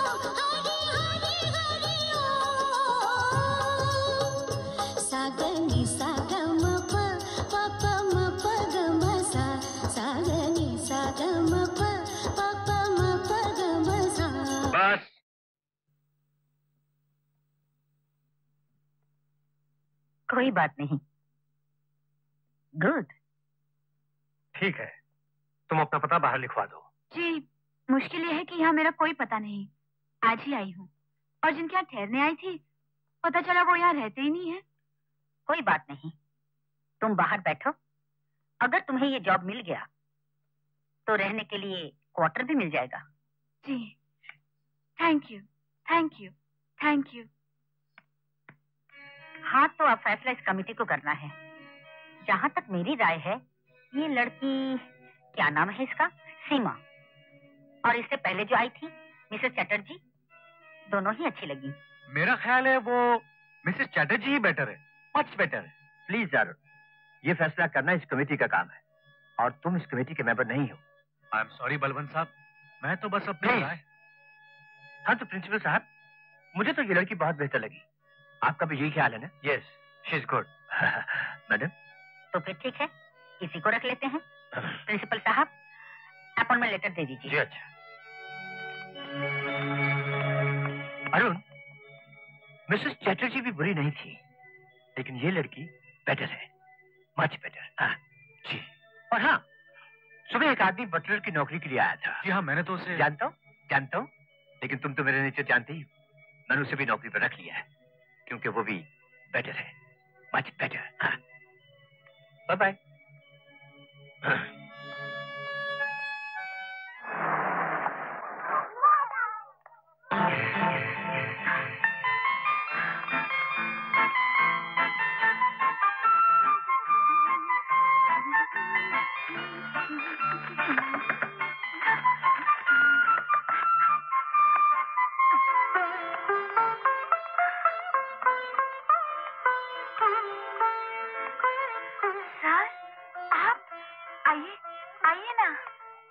यहाँ से गुजर रहा था? सोचा तुमसे पूछ लूँ शायद तुम्हें किसी चीज़ की ज़रूरत हो। आज के दौर में जब लोगों के दिलों से इंसानियत उठती जा रही है आपने मेरा इतना ख्याल किया जाने का कष्ट किया। अरे भाई तुम हमारी स्कूल की टीचर हो यहाँ नई हो तुम्हारा ख्याल रखना हमारा फ़र्ज़ है। वाह कितने पवित्र विचार सफेदी की झनकार सर आपको तो चाय पीकर ही जाना पड़ेगा। नहीं ये चाय की फॉर्मेलिटी छोड़ो। अच्छा ठीक है। लेकिन जल्दी करो। अब बैठे तो सर मैं यूँ गई और यूँ आई। बैठे। अच्छा।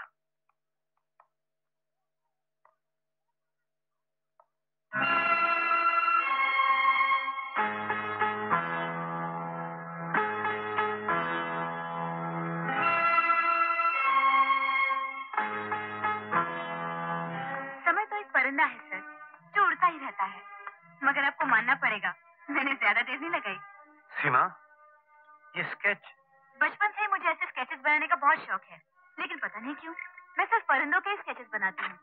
शक्ल कितनी लेंगे सर क्या मैं स्केचेस ले सकता हूँ? ज़रूर सर लेकिन इनमें ऐसी क्या खास बात है? बरसों पहले मेरा एक स्टूडेंट था। वो भी बिल्कुल ऐसे स्केचेस बनाया करता था। सिर्फ़ चिड़ियों के।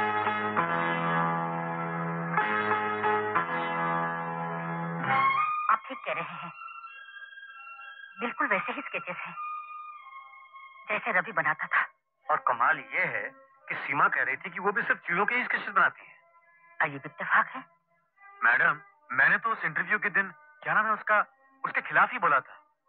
मगर एक बात तो है चेहरे से वो लड़की किसी अच्छे घराने की लगती है। हम्म।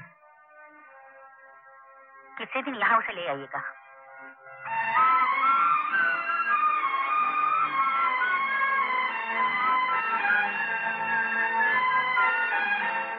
खरगोश ने शेर से कहा जंगल के राजा इस जंगल में तुम्हारे अलावा एक और शेर रहता है। शेर को गुस्सा आया। मेरे जंगल में दूसरा शेर कहाँ है? किधर है दिखाओ मुझे। खरगोश ने कहा good morning father good morning Sam बच्चों तुम लोग शोर नहीं करना। मैं अभी आती हूँ good morning father good morning good morning देख रहा हूँ कि कुछ ही दिनों में बच्चों के साथ तुम्हारी अच्छी दोस्ती हो गई। बच्चे तो कच्ची मिट्टी की तरह होते हैं सर। जिस तरह के सांचे में डालिए ढल जाते हैं। लेकिन उनके दिमाग तक अपनी बात पहुँचाने के लिए उनके दिल तक पहुँचना बहुत ज़रूरी है। हम्म। आज ही देखिए ना सर। बच्चों का म्यूज़िक में दिल नहीं लग रहा था। मैंने कहा कोई बात नहीं।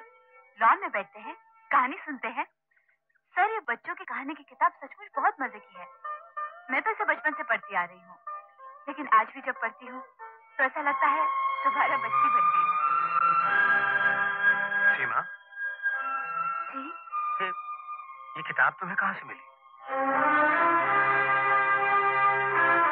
तो क्या जवाब दिया उसने? उसने कहा कि ये किताब ही उसके पास उसके उस स्वर्गवासी पिता की निशानी है जिसे उसने कभी देखा ही नहीं। लेकिन आपको पूरा यकीन है कि यही वो किताब कह तो रहा हूँ। ये किताब मैंने रवि को तब दी थी जब वो स्कूल में पढ़ता था। सी ये मेरा सिग्नेचर है। आप ये कहना चाहते हैं कि अगर वो कमबख्त लड़की रवि की तरह चिड़ियों के स्केच बनाती है या या ये किताब न जाने उसे कहाँ से मिलती जिस पर आपका सिग्नेचर है तो हम ये मान लें कि वो रवि की कोई हुई औलाद है? नहीं मैं ये नहीं कह रहा हूँ। लेकिन सोचने वाली बात तो है। हाँ सोचने वाली बात तो है। कहीं यही तो सचमुच मेरे रवि की क्या बात कर रही हैं आप मैडम? एक किताब को लेकर हम इतना बड़ा फैसला थोड़ी कर सकते हैं। क्यों ना इस सीमा से बात की जाए? क्या उसका बैकग्राउंड है? कुछ तो बताइए अपने माँ बाप के बारे में। बाप को नहीं देखा नाम तो जानती होगी। मैडम मैं आपको ये राय नहीं दूँगा। इसलिए कि अगर उसे शक भी हुआ कि ये सवाल हम इसलिए किए जा रहे हैं कि हम ये जानना चाहते हैं कि वो आपकी वारिस है या नहीं तो कौन जाने? वो झूठी बोल सकती है। क्यों बलवंत साहब? हाँ। ठीक है। ये बिल्कुल ठीक कह रहा है। मगर मुझे ये बात ठीक नहीं लग रही है। किसी भी तरह से उसके बारे में पता तो लगाना ही चाहिए। सर जी अगर उसके कमरे की तलाशी ली जाए तो कुछ ना कुछ तो ज़रूर मिलेगा। जिससे पता चलेगा कि असल में वो है कौन। ठीक है ठीक है तुम जाओ। मैडम मैं आपको एक आइडिया देता हूँ। क्यों ना हम जाकर उसकी गैर मौजूदगी में उसका जो भी सामान उसकी तलाशी ले। कुछ ना कुछ तो मिलेगा जिससे ये पता चलेगा कि आखिर वो लड़की है कौन। नहीं ऐसा नहीं करना चाहिए। ये अच्छी बात नहीं होगी। प्रिंसिपल साहब, हम आपकी बात समझ रहे हैं। लेकिन अगर दिल में शक हो ही गया है कि कहीं वो लड़की मैडम की पोती मैडम की वारिस तो नहीं, मैं समझता हूँ गलती समझ रहे हैं। लेकिन इस शक को मिटाना तो पड़ेगा ही ना? हाँ। और ये शक मिटेगा। ज़रूर मिटेगा। मैडम, अब आप ये सब कुछ मुझ पर छोड़ दीजिए। चलो, तुम मेरे साथ चलो। प्रिंसिपल साहब, क्या ये हो सकता है कि ये सचमुच मेरे रवि की बेटी हो?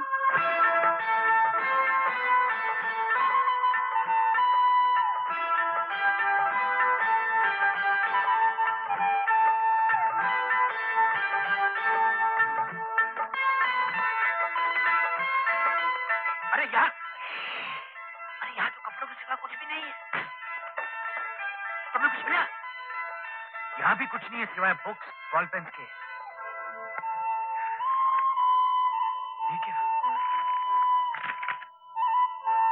संजय गुप्ता? ये तो रवि का दोस्त था। कई साल हुए, वो कनाडा चला गया। प्रिंसिपल साहब, आपको याद है? इंटरव्यू के दिन उस लड़की ने कहा था कि वो जिनके यहाँ ठहरने आई थी, वो अब यहाँ नहीं रहते। शायद वो संजय गुप्ता ही के बारे में कह रही थी। जी हाँ लेकिन किसी का पर्सनल लेटर खोलना, ओहो, प्रिंसिपल साहब। कभी नहीं दीजिए तसली मैडम को।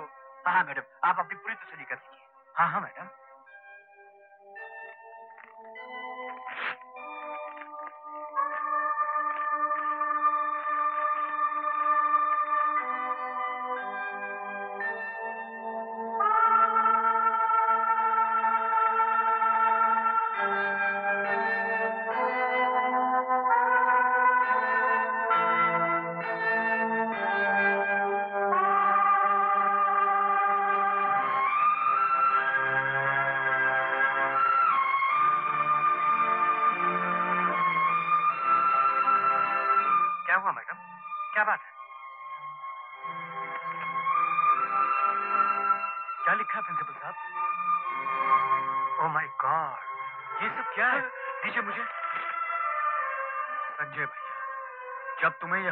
मिलेगा मैं इस दुनिया में नहीं रहूँगी। मेरे बाद सीमा इस दुनिया में अकेली हो जाएगी। इसलिए तुम्हारे पास भेज रही हूँ तुम्हारे सबसे बेहतरीन दोस्त रवि की आखिरी निशानी।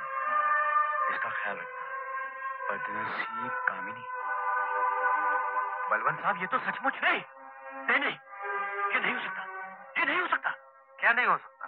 ये तो हो गया। रवि कामिनी सीमा उन्हीं की बेटी। लेकिन बलवंत क्या बात है? तुम्हें खुशी नहीं हो रही है? मेरे बेटे की खोई हुई औलाद मिल गई। ये बात नहीं है मैडम। बलवंत साहब को यकीन नहीं आ रहा कि अचानक इनको इतनी बड़ी खुशी क्यों बलवंत साहब? हाँ यही बात है। अचानक इतनी बड़ी खुशी? यकीन नहीं आ रहा। मुझे तो यकीन आ गया है प्रिंसिपल साहब। लेकिन मैं अपने यकीन को पूरी तरह पूरा करना चाहूँगी। सीमा को यहाँ बुलाइए।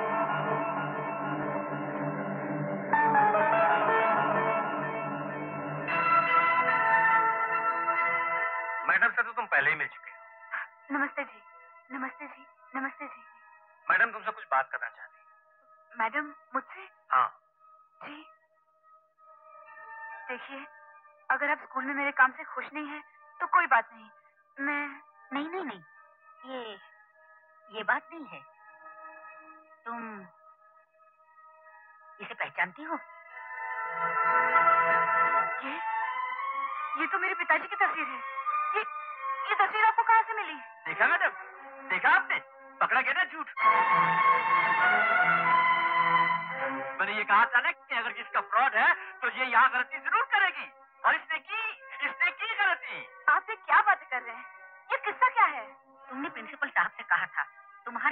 डेथ तुम्हारी पैदाइश से पहले हो गई थी। जी हाँ। तो ज़ाहिर है तुमने अपने पिता को कभी नहीं देखा था। जी हाँ कभी नहीं। लेकिन तो फिर तुम कैसे कह सकती हो कि ये तुम्हारे पिता की तस्वीर है? Good point very good point father मुझसे सारे सवाल क्यों किए जा रहे हैं? ये हम बाद में बताएँगे तुम्हें। पहले ये बताओ जिस बाप को तुमने देखा नहीं था उसकी तस्वीर कैसे पहचान ली?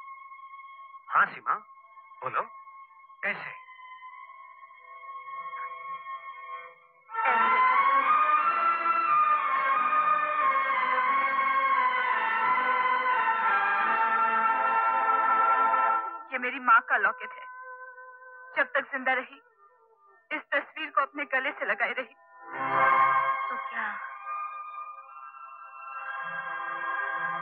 कामिनी अब इस दुनिया में नहीं रही। कामिनी आप आप जानती हैं मेरे माँ बाप को प्रिंसिपल साहब, क्या बात है?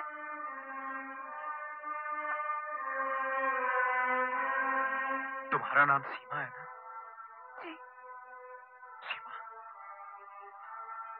तुम्हारी दादी है। ओह, तो वो आप हैं। आप मेरे पिता की माँ जिसने मेरी माँ को बेइज्जत करके निकाल दिया था। मेरी माँ ने मुझे आपका नाम पता नहीं बताया था। मैं नहीं जानती थी कि आप ही मेरी बात सुनो। और अगर जानती कि वो आप हैं तो मैं यहाँ इस जगह कभी नहीं आती। बेटी मत कहिए बेटी मेरा आपसे कोई रिश्ता नहीं। मुझसे अपना रिश्ता आप मेरे पैदाइश से पहले ही तोड़ चुकी है। क्या समझती है कि आज इतने बरसों बाद अपनी दौलत के ज़ोर पर आप मुझसे रिश्ता खरीद सकती है? सॉरी मैडम नामुमकिन। प्रिंसिपल साहब मैं आज ये जगह छोड़कर जा रही हूँ। सीमा। सीमा। ठहरो कहिए आपको भी कुछ कहना है? मैं तुम्हारे दुख और गुस्से की सच्चाई से इनकार नहीं करता थी लेकिन सच और भी है।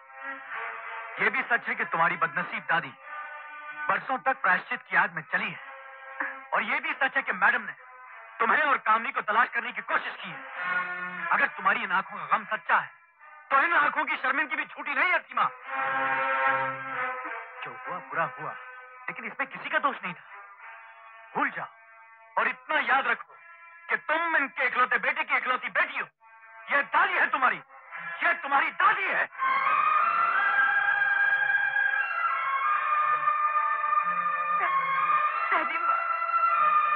हो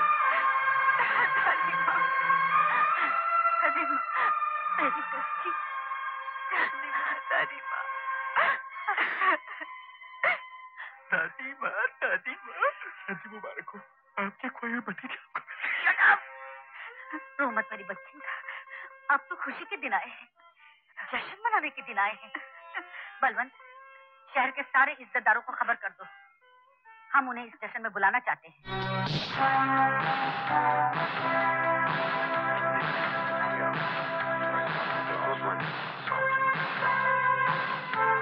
ये सब किस्मत की बात होती है। मैडम को अपनी पोती कितने वर्षों नहीं मिलनी थी।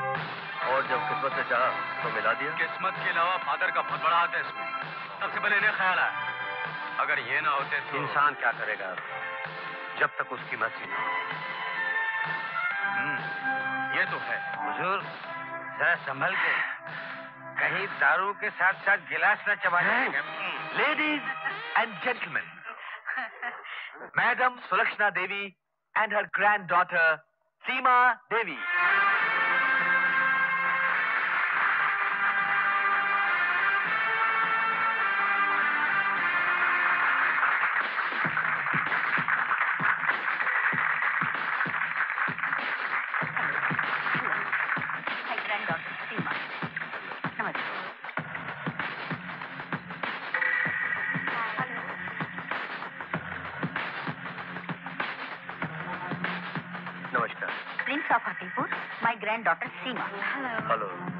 मे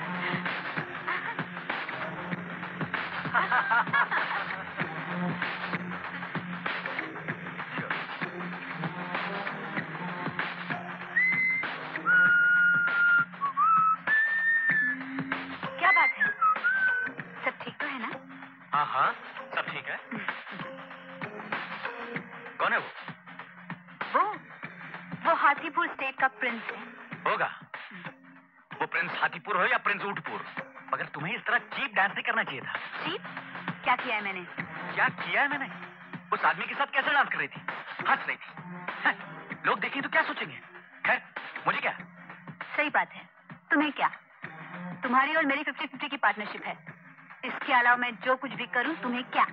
यू राइट जाइए जाइए। आपके वो डार्लिंग प्रिंस ऑफ़ हाथीपुर आपका इंतज़ार कर रहे हैं।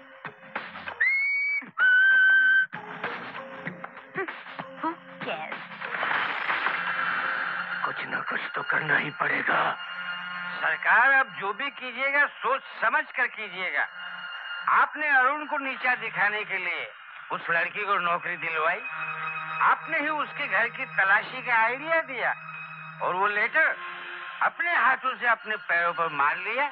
मुझे क्या पता था? इतने से लिफाफे में से इतनी बड़ी मुसीबत निकल आएगी? सरकार ये तो है। ये पहली बार देखा कि खोदा चूहा और निकला पहाड़। है कल तक मैडम के इकलौते वारिस आप थे। आज वो लड़की है। नहीं वैसे मैं आपका नेचर जानता हूँ। आप कुछ न कुछ तो करेंगे ही। मैडम ने इतने जरा से दिनों में कुछ नहीं तो तुम्हें बीस लाख रुपए की ज्वेलरी तो दी होगी। एग्जैक्ट कीमत तो मुझे पता नहीं लेकिन ये रही ज्वेलरी की लिस्ट तुम्हारे लिए ताकि बाद में हिसाब करते हुए गड़बड़ ना हो। बाद में? ये बाद में का क्या मतलब हुआ? हमारी तुम्हारी पार्टनरशिप है फिफ्टी फिफ्टी मुझे मेरा हिस्सा अभी चाहिए वरना तुम किस दिन ये सब लेकर अफूचा करोगे? तो मैं तो मारा गया ना? तुम हर एक को अपनी तरह बेईमान समझते हो? सीमा बेटी हम लोग बेईमानी और ईमानदारी की बातें ना ही करें तो अच्छा है। हमारे मुँह से ये बातें अच्छी नहीं लगती। लेकिन अंकल इसको ये तो सोचना चाहिए कि अगर मैं इसका हिस्सा दे दूँगी और कल को मैडम ने पूछा बेटी बाकी की ज्वेलरी कहाँ है? तो क्या कहूँगी कि आधी ज्वेलरी मेरा फिफ्टी परसेंट का पार्टनर ले गया। ये भी ठीक है लेकिन अरुण भी ठीक कह रहा है आखिर इसको भी तो इसका शेयर मिलना चाहिए। और तरकीब क्या होगी? तरकीब है। वो क्या? जितना ये घर चलेगी उतना मैं ऑफ़िस से ले लूँगा। ठीक घर तुम्हारा ऑफ़िस तुम्हारा फिफ्टी फिफ्टी क्यों सीमा? मुझे मेरी जवानी के जमाने का एक गीत याद आ गया। शायद तुमने सुना होगा। साथी हाथ बढ़ाना साथी रे एक अकेला थक जाएगा मिलकर बोझ उठाना। साथी हाथ बढ़ाना ओके ओके। लेकिन ये होगा कैसे? वो मैं बताता हूँ। चलो। हसमुख? जी मैडम। मैंने बलवंत को दस बजे बुलाया था। अभी तक वो बस वो आते ही होंगे। रात को काफ़ी देर तक ऑफ़िस में काम करते रहे। दो ढाई बजे तक फाइलें देखते रहे इसलिए सुबह आने में देर हो गई होगी। क्यों हसमुख लाल जी? जी जी। दादी माँ ये तो है। बलवंत अंकल दस आदमी का काम अकेले करते हैं। है ना हसमुख लाल जी? जी जी। मैडम बेबी बिल्कुल ठीक कह रही है। गुड मॉर्निंग मॉर्निंग यहाँ सब ठीक है? सर आपके होते हमारे लिए सब ठीक है। तुम ही हो माता पिता तुम ही हो। सर जी। यस मैडम आपके बारे में पूछ रही थी। मैंने अपनी तरफ़ से कह दिया कि आप रात को अढ़ाई तीन बजे तक ऑफ़िस में बैठकर काम कर रहे थे। गुड वेरी गुड तुम हो बंधु सखा तुम हो। Morning madam morning sorry madam आने में जरा देर हो गई मुझे आज। क्या है कि सारे अकाउंट्स बंद करने थे ना? इसलिए रात को ऑफ़िस में ही दो अढ़ाई बज गए। काम तो खैर रात भी हो सकता था लेकिन आप तो मेरा नेचर जानती हैं। मैं सब जानती हूँ। बैठो। और मेरी बात सुनो। जी। देखो बलवंत आखिर तुम्हारी भी अपनी ज़िंदगी है। इतना काम करोगे तुम्हारी सेहत का क्या होगा? मैंने फैसला कर लिया है। तुम्हारी आधी जिम्मेदारियाँ आज से अरुण संभालेगा। तुम्हारे साथ मैंने बड़ी बेइंसाफी की है। इतने दिनों तक मैंने इस बारे में सोचा ही नहीं। सच्ची बात तो ये है आज भी ये सब मुझे सीमा ने ही समझाया। सीमा ने? How sweet I love you, Balwant uncle. You know it. Of course of course सरकार ये क्या हो रहा है? वो घर की वारिस हो गई है? अब ये दफ्तर का मालिक हो रहा है। आप तो ना घर के रहे ना घाट के। मगर मैं अपनी जबान से आपको धोबी का कुत्ता तो कह नहीं सकता। चलिए समझ लीजिए मैं मैं कुत्ता हूँ और आप धोबी। मगर अब हम दोनों कहीं के नहीं रहे। आ, तुम तो मेरा नेचर जानते हो हसमुख। मैं धोबी नहीं हूँ। मैं लोहार हूँ लोहार। तुमने सुना नहीं? सौ सुनार की और एक लोहार की। हाँ सरकार कहीं ऐसा ना हो कि सोनार सारा सोना लेकर ये जा, वो जा और लोहार अपना हथौड़ा लिए। बैठा ही रहे। अरे, कुछ जल्दी कीजिए, नहीं तो ये मालिक बन जाएँगे। अरे, कैसे बन जाएँगे? अब मैं पता लगाऊँगा कामनी का कि वो ज़िंदा भी है कि मर गई। उसकी कोई औलाद थी भी कि नहीं? और अगर थी तो कहा है?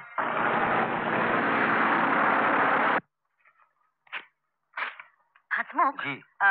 अरुण ये चेक कल बैंक से निकलवा लेना। जी बिल्कुल। अरुण जी मैडम। बलवंत को गए तीन महीने तो हो गए होंगे। जी हाँ तीन महीने तो हो गए। कमाल है तीन महीने गुजर गए। कमाल तो ये है न कोई खत आया है न चिट्ठी।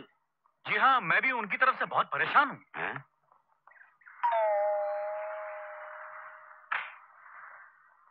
यस जी मैं मिस्टर विनोद मिश्रा से मिलना चाहता हूँ। जी मैं ही विनोद मिश्रा हूँ। कहिए। वो तो आप हैं mister Vinod Mishra. Thank god आप सोच नहीं सकते कि कितनी मुश्किल से मैंने आपको ढूंढा है। और उस दिन अचानक कामनी घर छोड़कर चली गई। बस हमारी उससे वही आखिरी मुलाकात थी। वो मेरी पत्नी की बहुत अच्छी सहेली थी। लेकिन मुश्किल ये थी कि मेरे भाई साहब पुराने ख्याल के थे। कहाँ गई होगी वो? कोई अंदाज़ा है आपको? कुछ कुछ याद कीजिए शायद उसने आपको कभी हाँ। मैं एक बात बता सकता हूँ। कामिनी के जाने के कुछ ही दिन बाद मुझे उसके कमरे के ड्राइवर में से एक मेटर्निटी होम का पता मिला। लेकिन भाई साहब के डर से मैंने ये बात शांति को भी नहीं बताई क्योंकि भाई साहब क्या पता था? कौन सा मेटर्निटी होम क्या पता था उसका? मैं कोशिश करूँगा याद करने की लेकिन आप कामिनी को इस तरह क्यों ढूंढ रहे हैं? जी। जी उन्हीं के फ़ायदे के लिए। आप तो मेरे नेचर जा आप मेरे नेचर कैसे जानेंगे आप तो पहली बार मुझसे मिल रहे फिर बात यह है कि कामनी के दूर दराज के चाचा थे। उनकी जायदाद अगर कामनी मिल जाए तो मैं उससे सौंप दूँ वरना उसकी बेटी को अगर वो मिल जाए तो। कामिनी की बेटी? उसकी बेटी कहाँ थी? हाँ? कामिनी का तो बेटा था।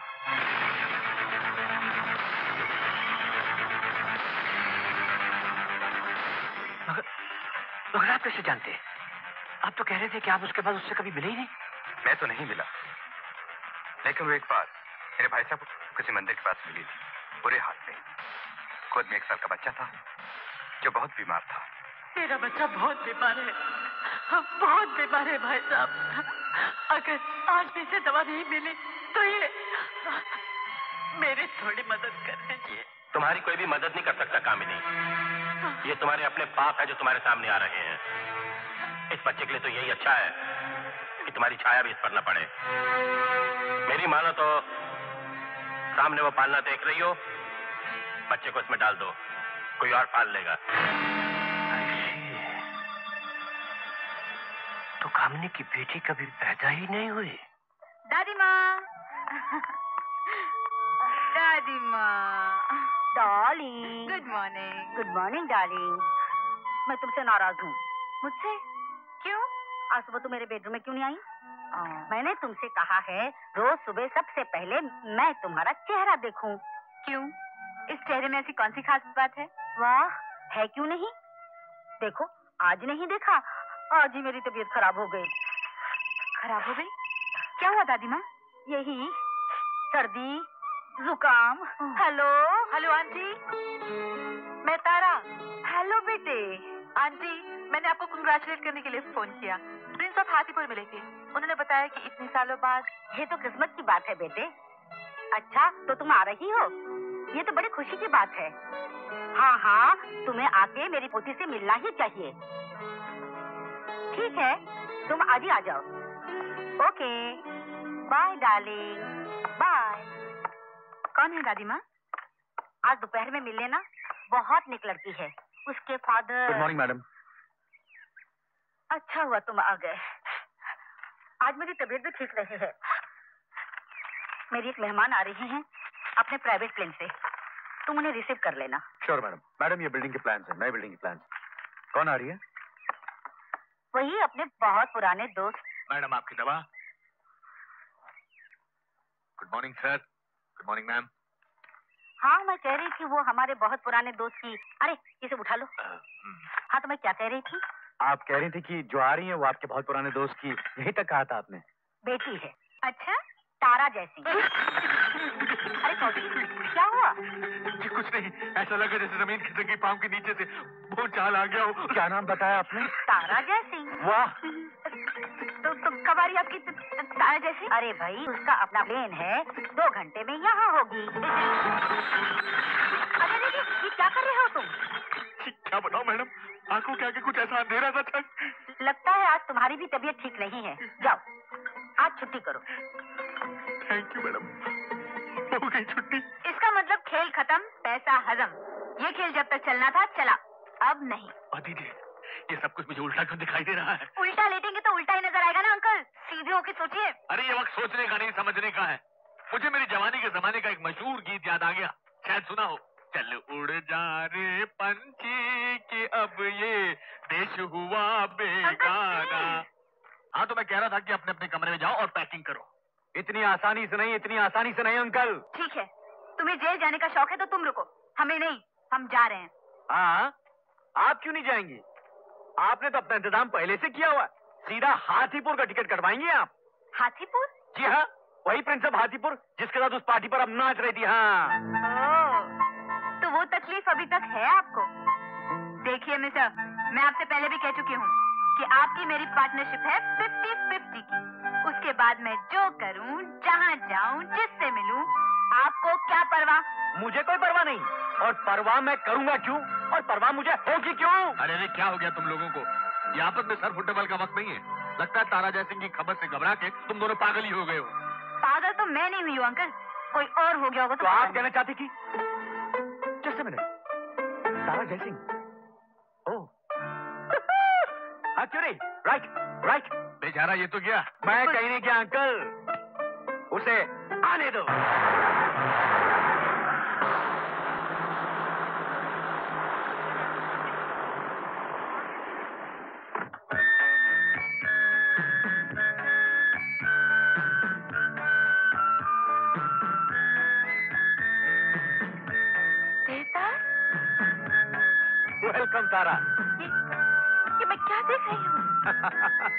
बहुत स्मॉल बहुत छोटी जगह है तारा। और सुनाओ कैसी हो? मैं तो अच्छी हूँ मगर तुम सोच भी नहीं सकते कि तुम्हें इस तरह मिलकर मुझे कैसा लग रहा है। और मुझे कैसा लग रहा है ये तुम नहीं सोच सकती। लेकिन तुम यहाँ क्या कर रहे हो? मैडम की स्टेट में जनरल मैनेजर लवली। ये सब तुम्हारी वजह से है तारा। तुम अगर मुझे वहाँ ना मिली होती तो आज मैं यहाँ ना होता। वो आ रही है बस। अगले तो आने दो रॉबर्ट। अंकल कैसे हैं? वो आजकल यहाँ नहीं है।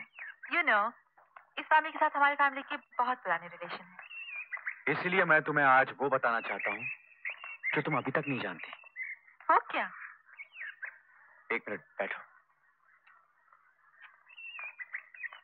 क्या बात है? बैठो तो सही।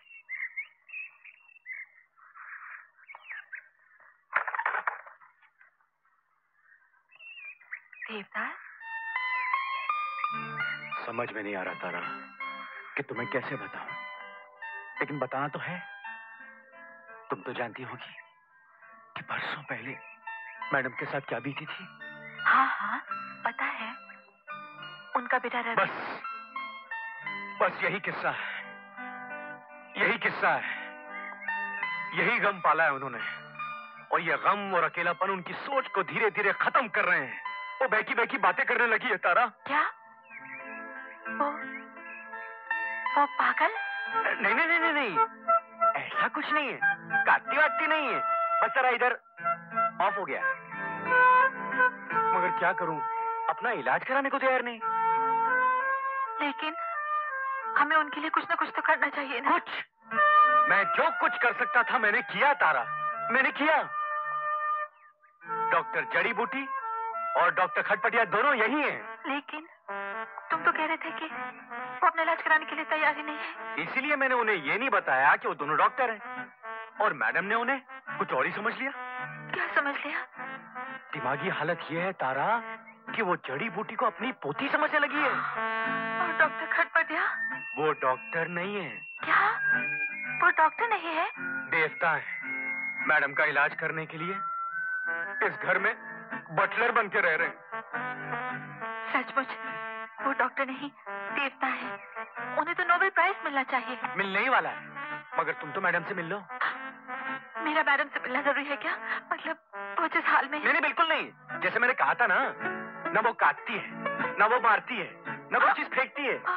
इस कहानी में तो वायलेंस है ही नहीं। ये तो बहुत ही इमोशनल कहानी है। बस हाँ वो डॉक्टर जड़ी बूटी को अपनी पोती जो कहे मान लेना।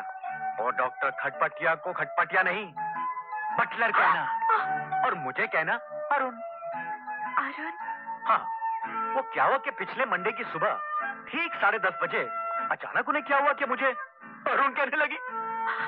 देखो लेकिन उनकी किसी बात से इनकार न करना। ये डॉक्टर खटपटिया के स्ट्रिक्ट इंस्ट्रक्शंस हैं। आओ। हाँ? और चेहरे पर घबराहट नहीं होनी चाहिए। मुस्कुराओ खुश दिखाई दो हंसो। हंसो तारा।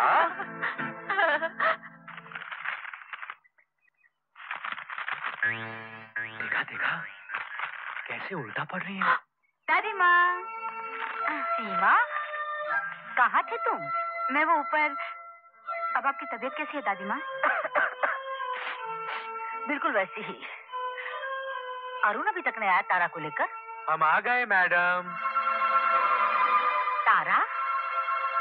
उधर क्यों खड़ी हो? इधर आओ। मेरे पास आओ। जी।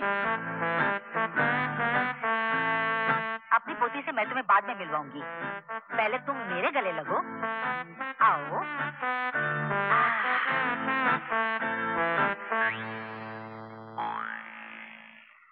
और? जी बसंत इससे पहले जब देखा था बिल्कुल गुलाब जैसी थी तुम। पीली लग रही हो। जी नहीं मैं पीली। जी हाँ ठीक है आप मैं बिल्कुल पीली हो गई हूँ। हाँ आओ बैठो। तुम पीली क्यों हो गई? हाँ, अपना ख्याल नहीं रखती? जी नहीं सही कह रही आप। मैं अपना बिल्कुल ख्याल नहीं रखती। ये तो गलत है। जी सही कह रही आप। नहीं गलत गलत कह रही आप। नहीं नहीं सही कह रही आप। सही कह रही हैं। तारा ये मेरी पोती सीमा है और ये तारा। हेलो। हाय सीमा। मैडम आपकी दवाई। ओफो फिर दवाई। मैडम ये तो आपकी खांसी और जुकाम की दवाई है। आप दवा नहीं खाएँगी तो ठीक कैसे होंगी? आप मेरी दादी माँ है कि नहीं? तुम्हें कोई शक है? तो फिर जल्दी से दवा खाइए। चलिए। देख रही हो तारा? जी हाँ देख रही हूँ। लाओ भाई लाओ खा लेते हैं। अच्छा तारा तुमसे क्या तकल्लुफ? तुम बैठो। मुझे कुछ ज़रूरी फ़ोन करने हैं मैं अभी करके आती हूँ। तब तक तुम लोग बातें करो हुँ? जी दादी माँ।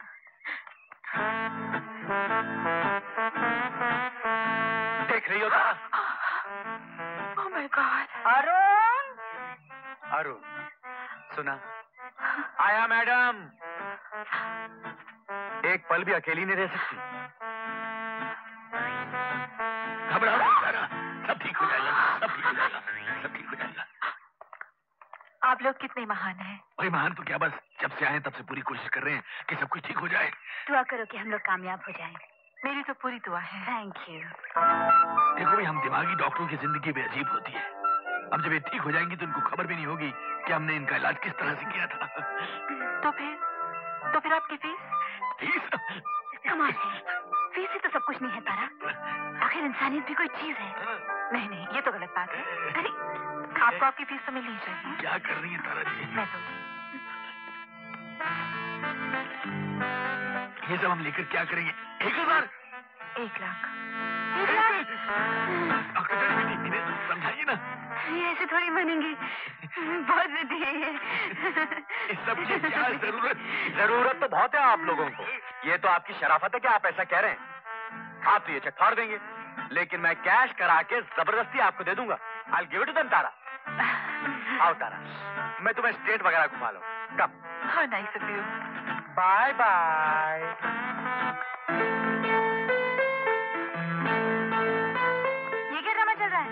drama तो जो भी हो लेकिन इन दोनों को अकेले नहीं छोड़ना चाहिए। जैक तो ले गया पता नहीं अकेले अकेले क्या चक्कर चलाएगा। हा? मेरा मतलब जब तक लड़की प्लेन में नहीं बैठ जाती हमें इनका पीछा नहीं छोड़ना चाहिए। चलो तुम्हारे जाने से पहले एक अच्छी ड्राइव तो हो गई। इट वॉज़ रियल तारा हाँ। ये जगह देखने में तो बड़ी खूबसूरत है लेकिन बातचीत करने लायक कोई कंपनी नहीं मिलती। तुम थी तो ये दो दिन कैसे गुजर गए पता ही नहीं चला। Oh how sweet of you कोई तरकीब हो तो दो चार दिन और रुक जाओ तारा प्लीज़ मुझे आपको कंपनी देने के अलावा भी इनके पास बहुत से काम है। हाँ ये तो है लेकिन तारा कहीं कुछ जलने की बू सी आ रही है। कहीं इंजन में कहीं कुछ जल ज़रूर रहा है। डॉक्टर छतपतिया बढ़िया डॉक्टर जड़ीबूटी आने का प्लीज़ ख्याल रखिएगा। बाय संभल के तारा संभल के। नहीं नहीं आप लोग तकल्लुफ मत कीजिए। मैं इन्हें प्लेन के दरवाजे तक छोड़ के आता हूँ। कम तारा।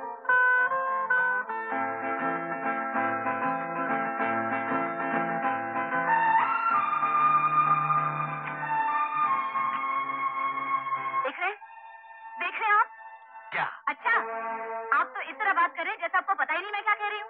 जब तक आप कहेंगी नहीं मुझे कैसे पता चलेगा कि आप मुझसे क्या कह रही हैं? बड़े मासूम हैं आप। बचपन से। मुझसे तो आप बहुत बोलते हैं कि ये चिप बिहेवियर है वो चिप बिहेवियर है और ये जो दो दिन से आप कर रहे थे वो चिप नहीं था। मैंने तो पार्टी में सिर्फ़ डांस किया था। ये तो नहीं किया था। देखिए आपने मुझसे जो कहा वही कह देता हूँ। हम सिर्फ़ फिफ्टी फिफ्टी के पार्टनर हैं। उसके बाद जो मैं करता हूँ मेरी ज़िंदगी है। राइट मेरी ज़िंदगी है। उसे रोक भी रहे थे। दो चार दिन और रुक अगर वो रुक जाती और हमारा पोल खुल जाता तो किसकी ज़िंदगी होती? आपकी वजह से हम लोग भी जेल में बैठे होते। क्यों अंकल? नहीं आप सच बताइए। जो आप सही समझते हैं ना वही कहिए। हाँ हाँ अंकल कहिए। क्या मैं सचमुच ऐसे कर रहा था? क्या वो सचमुच रुक जाती? कहिए कहिए। अरे कहता हूँ कहता हूँ एक मिनट। बात असल में ये है कि तुम लोग जो भी कह रहे हो बिल्कुल गलत कह रहे हो। झूठ बोल रहे हो। असल बात यह है कि तुम दोनों एक दूसरे से मोहब्बत करने लगे हो। लेकिन कहने की हिम्मत नहीं हो रही। अंकल आप क्या हैं? भाई अंकल की बात मानो खुल के बात करो अंकल जा रहे हैं। तेरी अंकल सुनिए तो। अंकल लगता है अंकल आकर सचाई गए हैं मैं और तुमसे। तुम्हारे अंकल सजाए नहीं पागल हो गए हैं। बिल्कुल। इसलिए कि जो कोई भी आदमी जिसमें जरा सी भी अकल होगी वो कभी मान ही नहीं सकता कि मैं कभी ज़िंदगी में तुम्हारी जैसी लड़की से शादी हो गई मैं। तुम्हें ऐसी क्या खास बात है? तुम कौन से चाँद के टुकड़े हो? और तुम कौन सी आसमान की अप्सरा हो? तुमसे तो बहुत अच्छी हूँ। अरे तुम्हारी जैसी दस लड़की अपने ऊपर निछावर करके फेंक दू मैं? तुम अपने आप को देखो देखो तुम ये मत समझना कि तुम लड़की हो। छोड़ो मुझे। नहीं नहीं छोड़ूँगा तुम मेरा छोड़ूँगी खाना छोड़ो। अपने आप को समझते क्या तुम अपने आप को क्या समझती हो?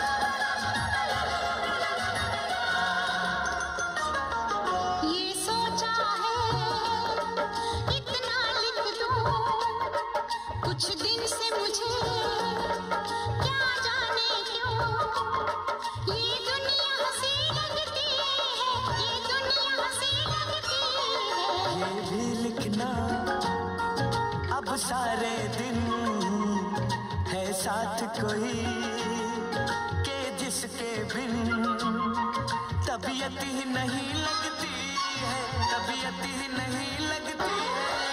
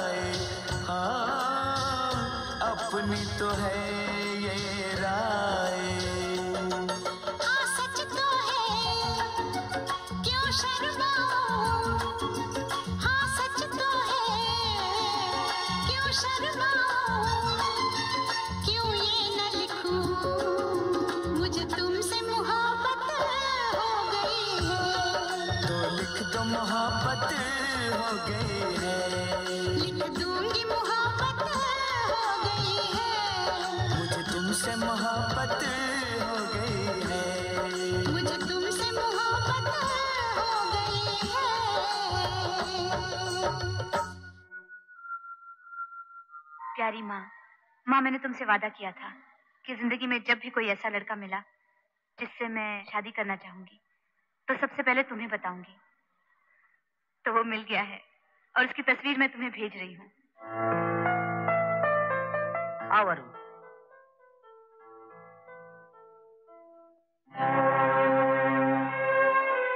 मैं तुम दोनों को बताना चाहती हूँ कि मुझे सब कुछ पता चल गया है। क्या समझते थे तुम दोनों? कि मैं कभी नहीं जान पाऊँगी? तुम लोगों ने मेरे साथ ये अच्छा नहीं किया। बहुत दिल दुखाया है तुम दोनों ने मेरा। शर्म की बात है। शर्म की बात है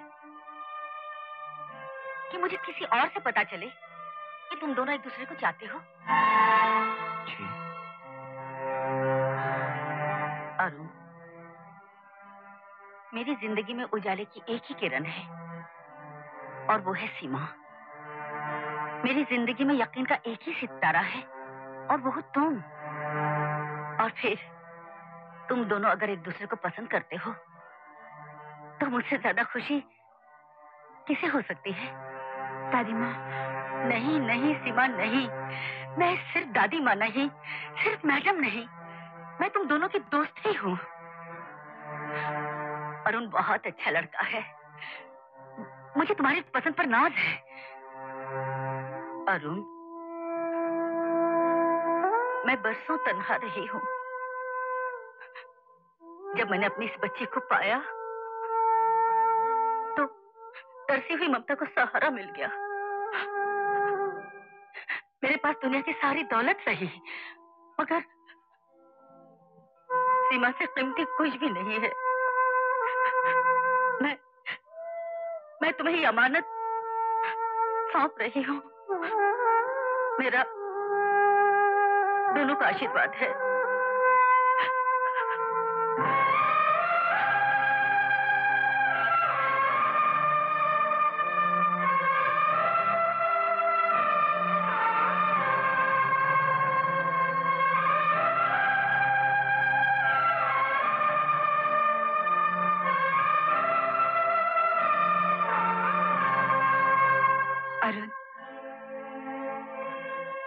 जो इतने विश्वास से हमें अपना समझ रही है।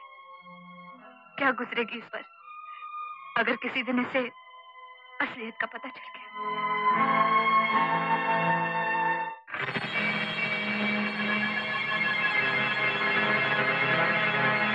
जनाब, आप तो भूसे के ढेर में सुई ढूँढने को कह रहे हैं। इतने बरसों का पुराना रिकॉर्ड कौन रखता है? और अगर कहीं है भी तो इतनी पुरानी फ़ाइल हॉस्पिटल के गोडाउन में तलाश करना तो इम्पॉसिबल है मैं समझता हूँ जानता हूँ डॉक्टर साहब लेकिन मुझे किसी भी हालत में कामनी के बच्चे की बर्थ सर्टिफिकेट की कॉपी चाहिए। उसके लिए मैं कीमत देने के लिए तैयार हूँ। ये लीजिए दस हाँ वकील साहब यही मेरी वसीयत है और सारे कानूनी कागजात इसी हफ़्ते तैयार हो जाने चाहिए। मैडम ये जायदाद आपकी है जैसा आप कहें। मगर मैं चाहूँगा कि इतना बड़ा फैसला करने से पहले आप एक बार फिर सोच लें। नहीं यही सही है। अगर अरुण और सीमा की शादी होनी है तो मैं ये नहीं चाहूँगी कि सीमा को ये लगे कि जो कुछ भी है सिर्फ़ उसी का है। फिर अरुण को भी मैं अपना ही समझती हूँ। मेरी जायदाद दोनों के नाम आधी आधी होगी हसमुखलाल जी। ये सारी कार्रवाई मंगनी की पार्टी से पहले पूरी हो जानी चाहिए। जी बहुत अच्छा। थैंक यू वकील साहब। Good night you madam.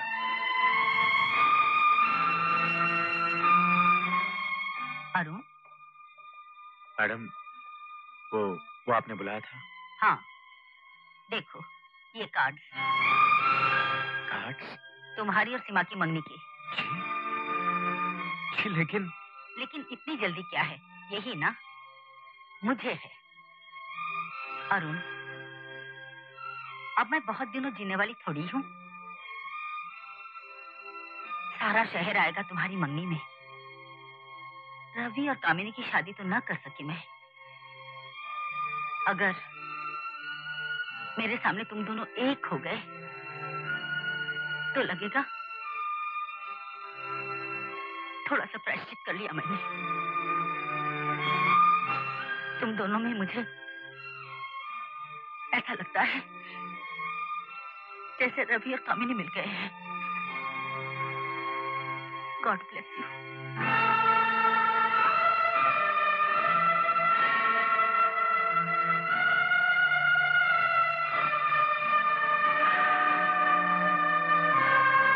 तो फिर तुम क्या कहते हो? हमें हमें क्या करना चाहिए? ये मैं नहीं जानता।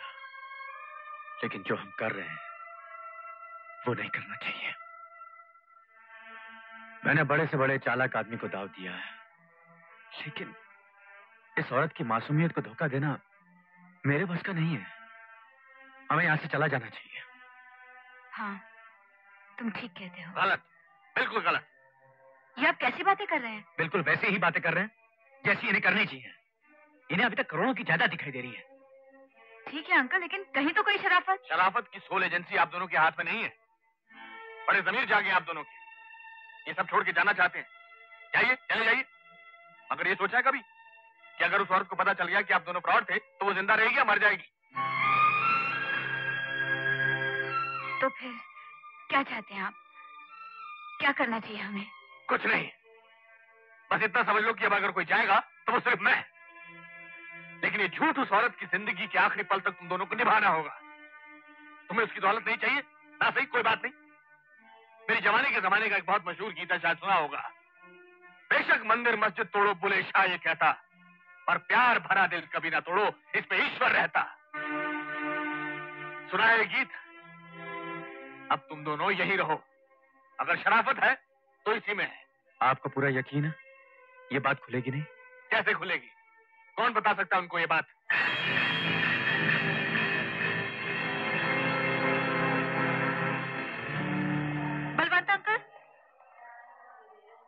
हेलो हाय कैसे हैं आप? Tara what a pleasant surprise अरे भी कहाँ हो इतने दिन से? ये तो मैं आपसे पूछना चाहती हूँ।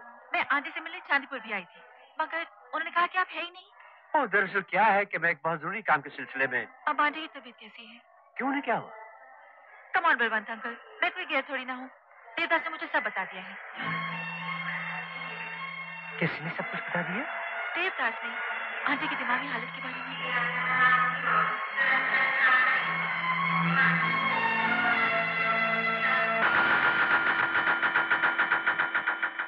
हसमुखलाल जी। पार्टी का सारा इंतज़ाम हो गया ना? आप निश्चिंत हो जाइए मैडम। मैं आपका पुराना नमक हलाल हूँ। सब कुछ ऐसी धूमधाम से होगा। क्या हुआ? बाबा आओ बलवंत आओ। मुबारक हो मैडम। तुम्हें भी मुबारक हो बलवंत। तुम्हें भी मुबारक हो। तुम तो सीमा के अंकल हो। हाँ? हाँ? हाँ? बिल्कुल बिल्कुल। हमारा जी खुश कर दिया। विल्सन ये फ्लावर्स बाहर जी, रखो मैडम। हाँ? बहुत ही सही वक्त पर पहुँचे हो तुम। आप तो जानती है मैडम मेरा नेचर ही कुछ ऐसा है। बच्चों से मिले? बच्चों से? हम्म, मिलूँगा। ज़रूर मिलूँगा। बलवंत तुम नहीं आती तो एक कमी रह जाती। खैर एक कमी तो फिर भी रहेगी। इस शादी में ना रवि है ना कामिनी।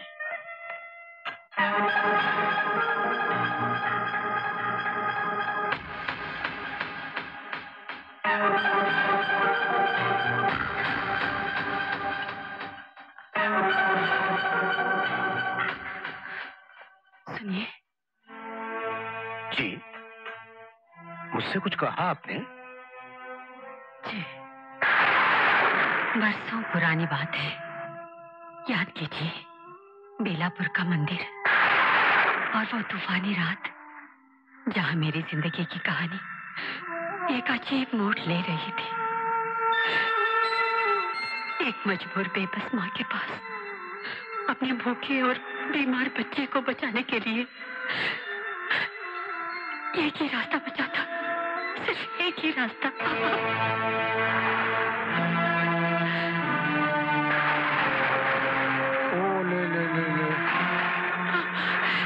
बच्चे को तो बहुत तेज बुखार है। अस्पताल चलना होगा। रुक जाओ। आप उसे लेकर चले गए। फिर मैंने अपने आप को मौत के हवाले करना चाहा। लेकिन मेरी किस्मत में मौत भी नहीं थी। एक अजनबी ने मुझे बचा लिया। आनंद बाबू। तुम जानती हो खुदकुशी करना पाप भी है और जुर्म भी। पुलिस में दे दो तुम्हें? क्या नाम है तुम्हारा? शारदा उसी दिन उनकी पत्नी, एक बच्चे को जन्म देकर इस दुनिया से रुखसत हुई थी। देवता समान आनंद बाबू ने मुझे एक बड़े भाई की तरह सहारा दिया। मैंने ही उनकी बच्ची सीमा को पाला और फिर कैंसर ने आनंद बाबू को हमसे छीन लिया। सीमा का अब मेरे सिवा कौन था? मुझे उसके लिए जीना ही पड़ा। जीने को जी रही थी, मगर दिल के पाले में बिछड़े हुए बेटे का गम भी पलता रहा और आज आपको देखकर उम्मीद जैसे फिर ज़िंदा हो गई। समझ गया मैं। अगर आपने मुझे सब कुछ याद न दिलाया होता तो शायद मुझे याद आना मुश्किल होता। तो फिर बताइए कहाँ है मेरा बेटा? मैं देख सकती हूँ। मैं मिल सकती हूँ उसे? बहन जी इस वक्त वो कहाँ है? ये तो मैं भी नहीं जानता। हाँ उसकी तस्वीर मैं आपको दिखा सकता हूँ। ये है आपका बेटा।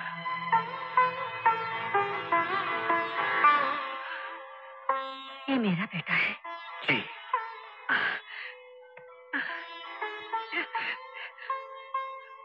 भाई साहब ये देखिए। भाई साहब अगर अगर ये मेरा बेटा है तो मैं जानती हूँ कि वो कहाँ है। देखा सरकार कैसा शहजादा बन के घूम रहा है? ये शहजादा और वो शहजादी अब मुझसे बचने वाले नहीं है हसमुख लाल।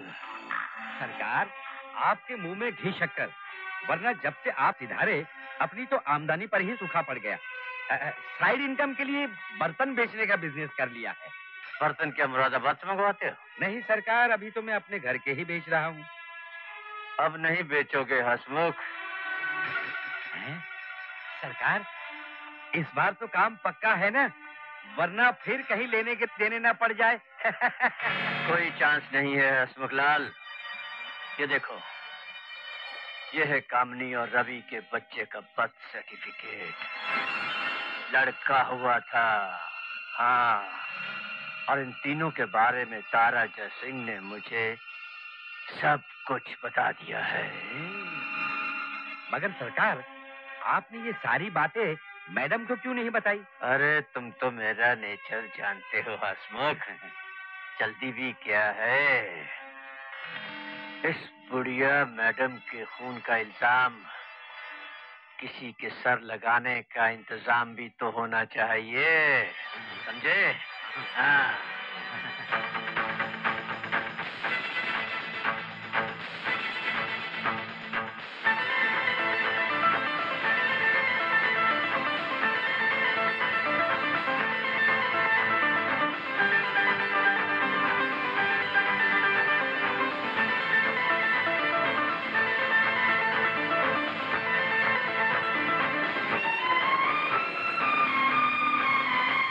चलो ये किस्सा भी यूँ ही खत्म होना था। मगर एक अफसोस है।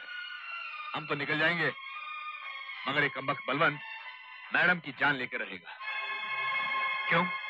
ऐसा क्यों कह रहे हैं आप? जो बातचीत मैंने सुनी थी उसमें वो मैडम के खून की स्कीम भी बना रहा था। और आप हमें अब बता रहे हैं और हम जा रहे हैं। हमें मैडम को सब कुछ बता देना चाहिए। बिल्कुल। इससे ज़्यादा क्या होगा? जेल जाएँगे ना? चले जाएँगे। मगर उस बलवंत से उन्हें बचाना ज़रूरी है। तुम समझते हो तुम लोग वहाँ जाकर बलवंत पर ये इल्ज़ाम लगाओगे और तुम्हारी बात सब लोग मान लेंगे? ये मत भूलो कि तुम्हारे खिलाफ उसके पास सारे सबूत हैं लेकिन उसके खिलाफ तुम्हारे पास कोई सबूत नहीं है। हाँ। बात तो ठीक है। लेकिन कुछ तो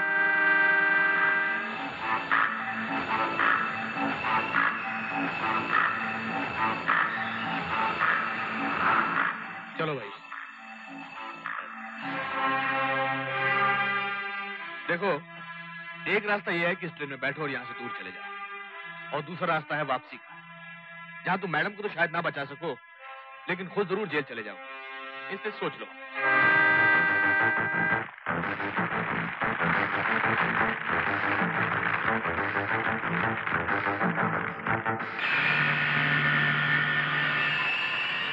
आज मेरे रास्ते के सारे कांटे निकल जाएँगे।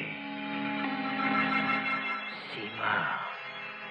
अरुण बटलर और साथ में अपनी मैडम भी। सरकार आप तो उग्रवादी हो गए हैं। इतने लोगों को मार दिया तो क्या आप बच जाएँगे? हसमुख मैडम के खून का इल्ज़ाम सीमा और अरुण पर लगेगा।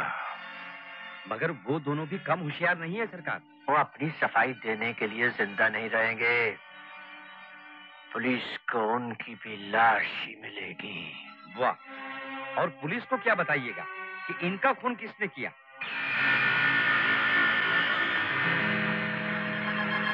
मैंने। मेरा बयान होगा कि दोनों मैडम का खून करके भाग रहे थे और मैंने इस रिवॉल्वर से उनको गोली मार दी। आप समझते हैं सरकार कि पुलिस आसानी से मान जाएगी? आप जो कह रहे हैं। क्यों नहीं मानेगी पुलिस? जिस रिवॉल्वर से मैडम का खून होगा, वही रिवॉल्वर पुलिस को अरुण की लाश के हाथ में मिलेगी। और फिर बर्थ सर्टिफिकेट है, तारा जय सिंह है। साबित हो जाएगा कि ये दोनों फ्रॉड थे, क्रुक थे, धोखेबाज थे। कौन शक करेगा मुझ पर? सत्य वचन। और सरकार, वो तीसरा अरे बटलर था। नौकरी छोड़कर चला गया। लाश तक नहीं मिलेगी। मगर सरकार ये ये डेंजरस काम होगा कब? आज रात को बेवकूफ़ आज ही रात को।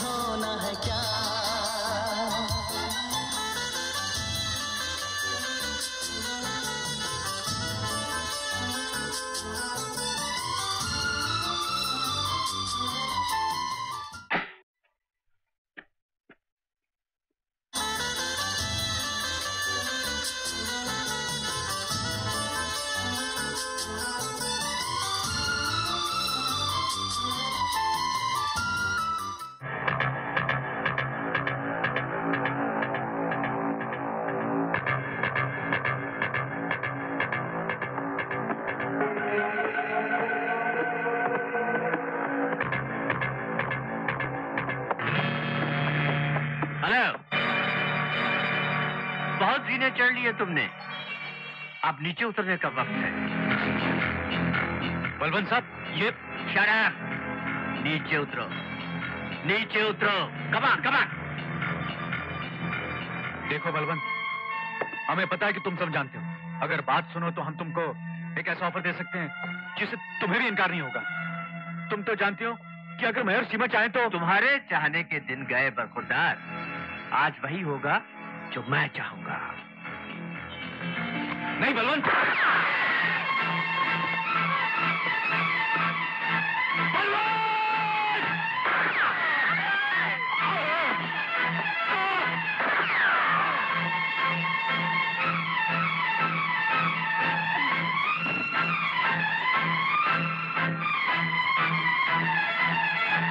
बलवंत ये अगर आपका सवाल यह है कि इन्हें किसने मारा है तो जवाब यह है कि मैंने।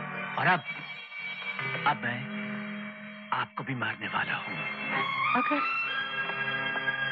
मगर क्यों? सरकार मैडम पूछ रही है क्यों? क्यों? मगरूर बुढ़िया पूछ रही है क्यों? इसलिए कि मैं तेरा दूर का गरीब रिश्तेदार हूँ। और मुझे तेरी कामयाबी से तेरी दौलत से तेरी इज़्ज़त से सख्त नफरत है कमीनी। ज़िंदगी भर तूने मुझे नौकर बनाकर रखा और अब ये जायदाद इन दोनों में बांट रही। और अब लीजिए मैडम, मैं तुम्हारा खून करने जा रहा हूँ। और आज ज़िंदगी में पहली बार मुझे तुमसे इजाज़त लेने की कोई ज़रूरत नहीं है।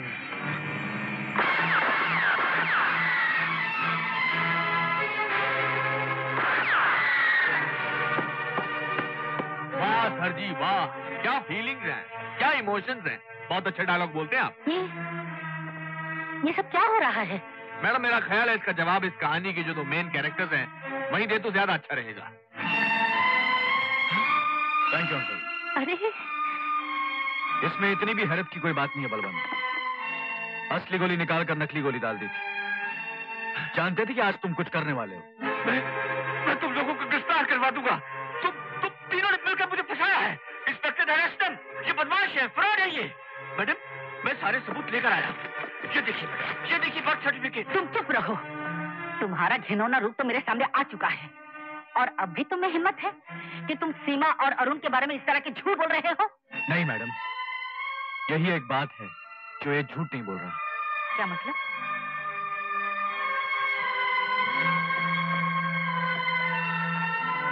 क्या बात है अरुण? सीमा? देखो। मुझे डरा मत क्या बात है? अगर इस पर धरती फट जाए और हम दोनों उसमें समा जाएँ, तो हमें कोई एतराज़ नहीं होगा।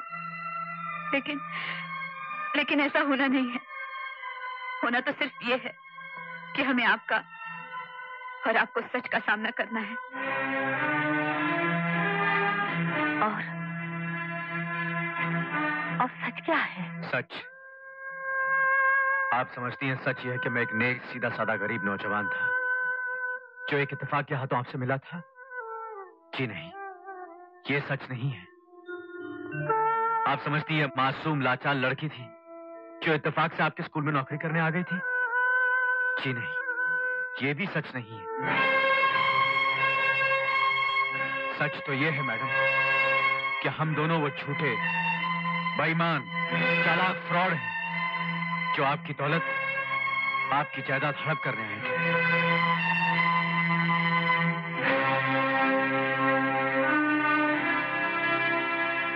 हम आपसे माफ़ी नहीं मांगेंगे, इसलिए कि हम माफ़ी के काबिल नहीं हैं।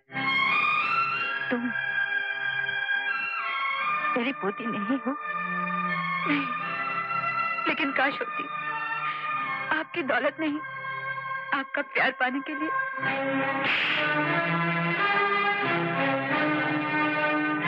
आपको अधिकार है। आपने मुझे और सीमा को जो कुछ भी दिया, वो इन बैग्स में है, मैडम। हम यहाँ से सिर्फ़ अपने पछतावे के सिवा और कुछ लेकर नहीं जा रहे। चलो सीमा, पुलिस हमारा इंतज़ार कर रही है।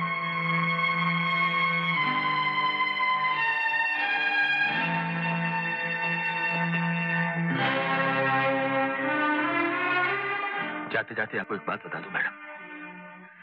चाहते तो ये भाग भी सकते थे, मगर लौट आए।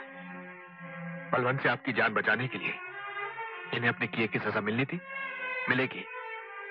मगर अफसोस, ये जेल तब जा रहे जब आपके प्यार, आपकी ममता ने एक अच्छा इंसान बना दिया था। ठीक है, यू भी होता है। नमस्ते।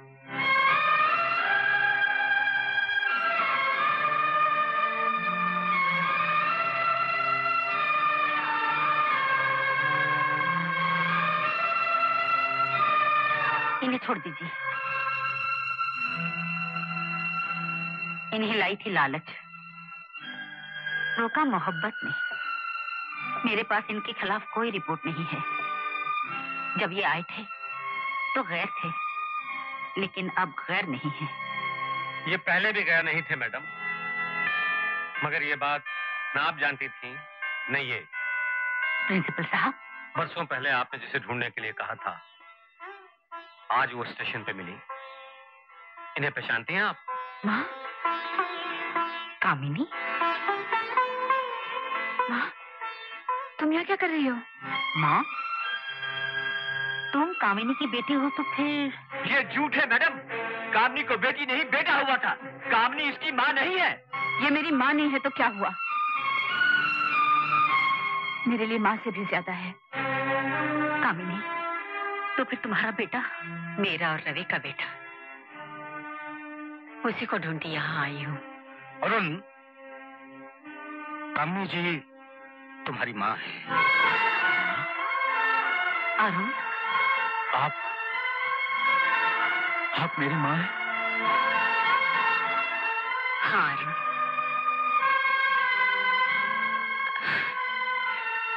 तुम मेरे बेटे हो। और वो तुम्हारी दादी।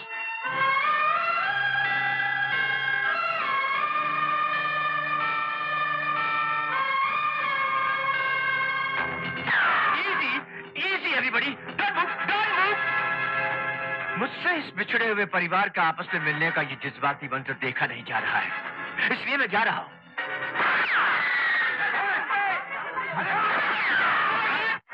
तो जंगल की तरफ़ भागने का टाइम है। आप तो बस्ती में निकल आए। जंगल किधर है। इधर इधर। सरकार शेर।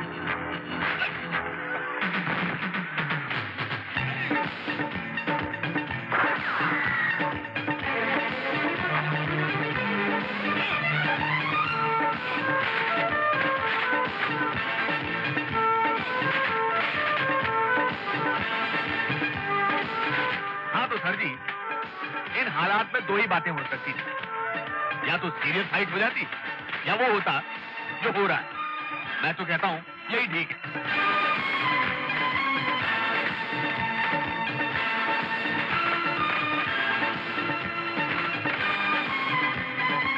लीजिए साहब, अब सब आगे पार्टी में। फैमिली फ्रेंड पुलिस मेरा मतलब है पुलिस लेकिन पुलिस तो हमेशा देर से आती थी।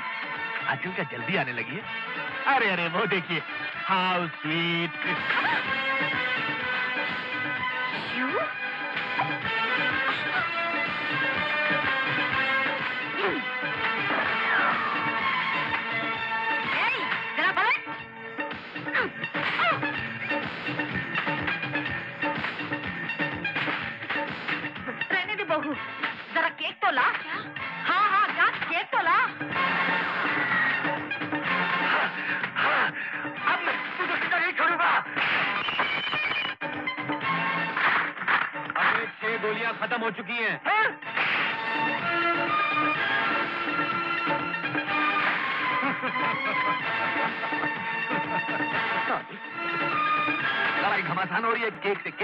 हैं मगर मगर हमारे हसमुख लाल जी की नज़र और नीयत उसी जगह टिकी हुई है जहाँ टिकी होनी चाहिए थी। यानी उन दो सूटकेसों पर जिनमें दौलत भरी पड़ी है। दौलत।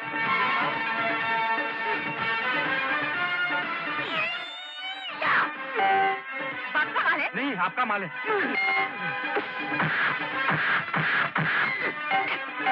हाँ आ गया है कि होनी करवट ले और बुराई अपने अंजाम तक पहुँचे। अरे अरे तो पहुँची बुराई अपने अंजाम तक।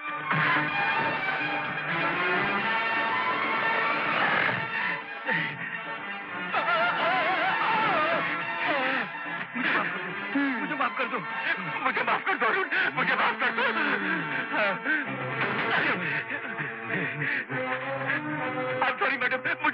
कर तुम्हारी सूरत भी नहीं देखना चाहती। इंस्पेक्टर ले जाइए। आप तो मेरा जानती है। मैं तो आपको दूर का रिश्तेदार हूँ। मैं देख रहा हूँ खेल के मैदान में सारे फैमिली मेंबर्स काफ़ी क्लोज आ चुके हैं। लगता है सिचुएशन फिर से इमोशनल होने वाली है। नहीं बेटे तुम्हारी जगह यहाँ है। अपनी माँ के गले नहीं लगोगे।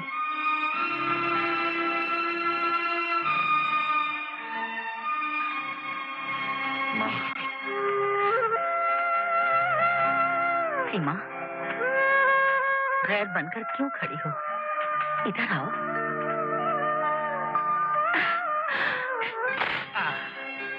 और इस तरह ये लोग हँसी खुशी रहने लगे। और भाई गॉड फिर इनकी लाइफ में कभी कोई प्रॉब्लम नहीं आया। वो देखिए दादी माँ किस तरह इन दोनों का हाथ एक दूसरे के हाथ में दे रही है।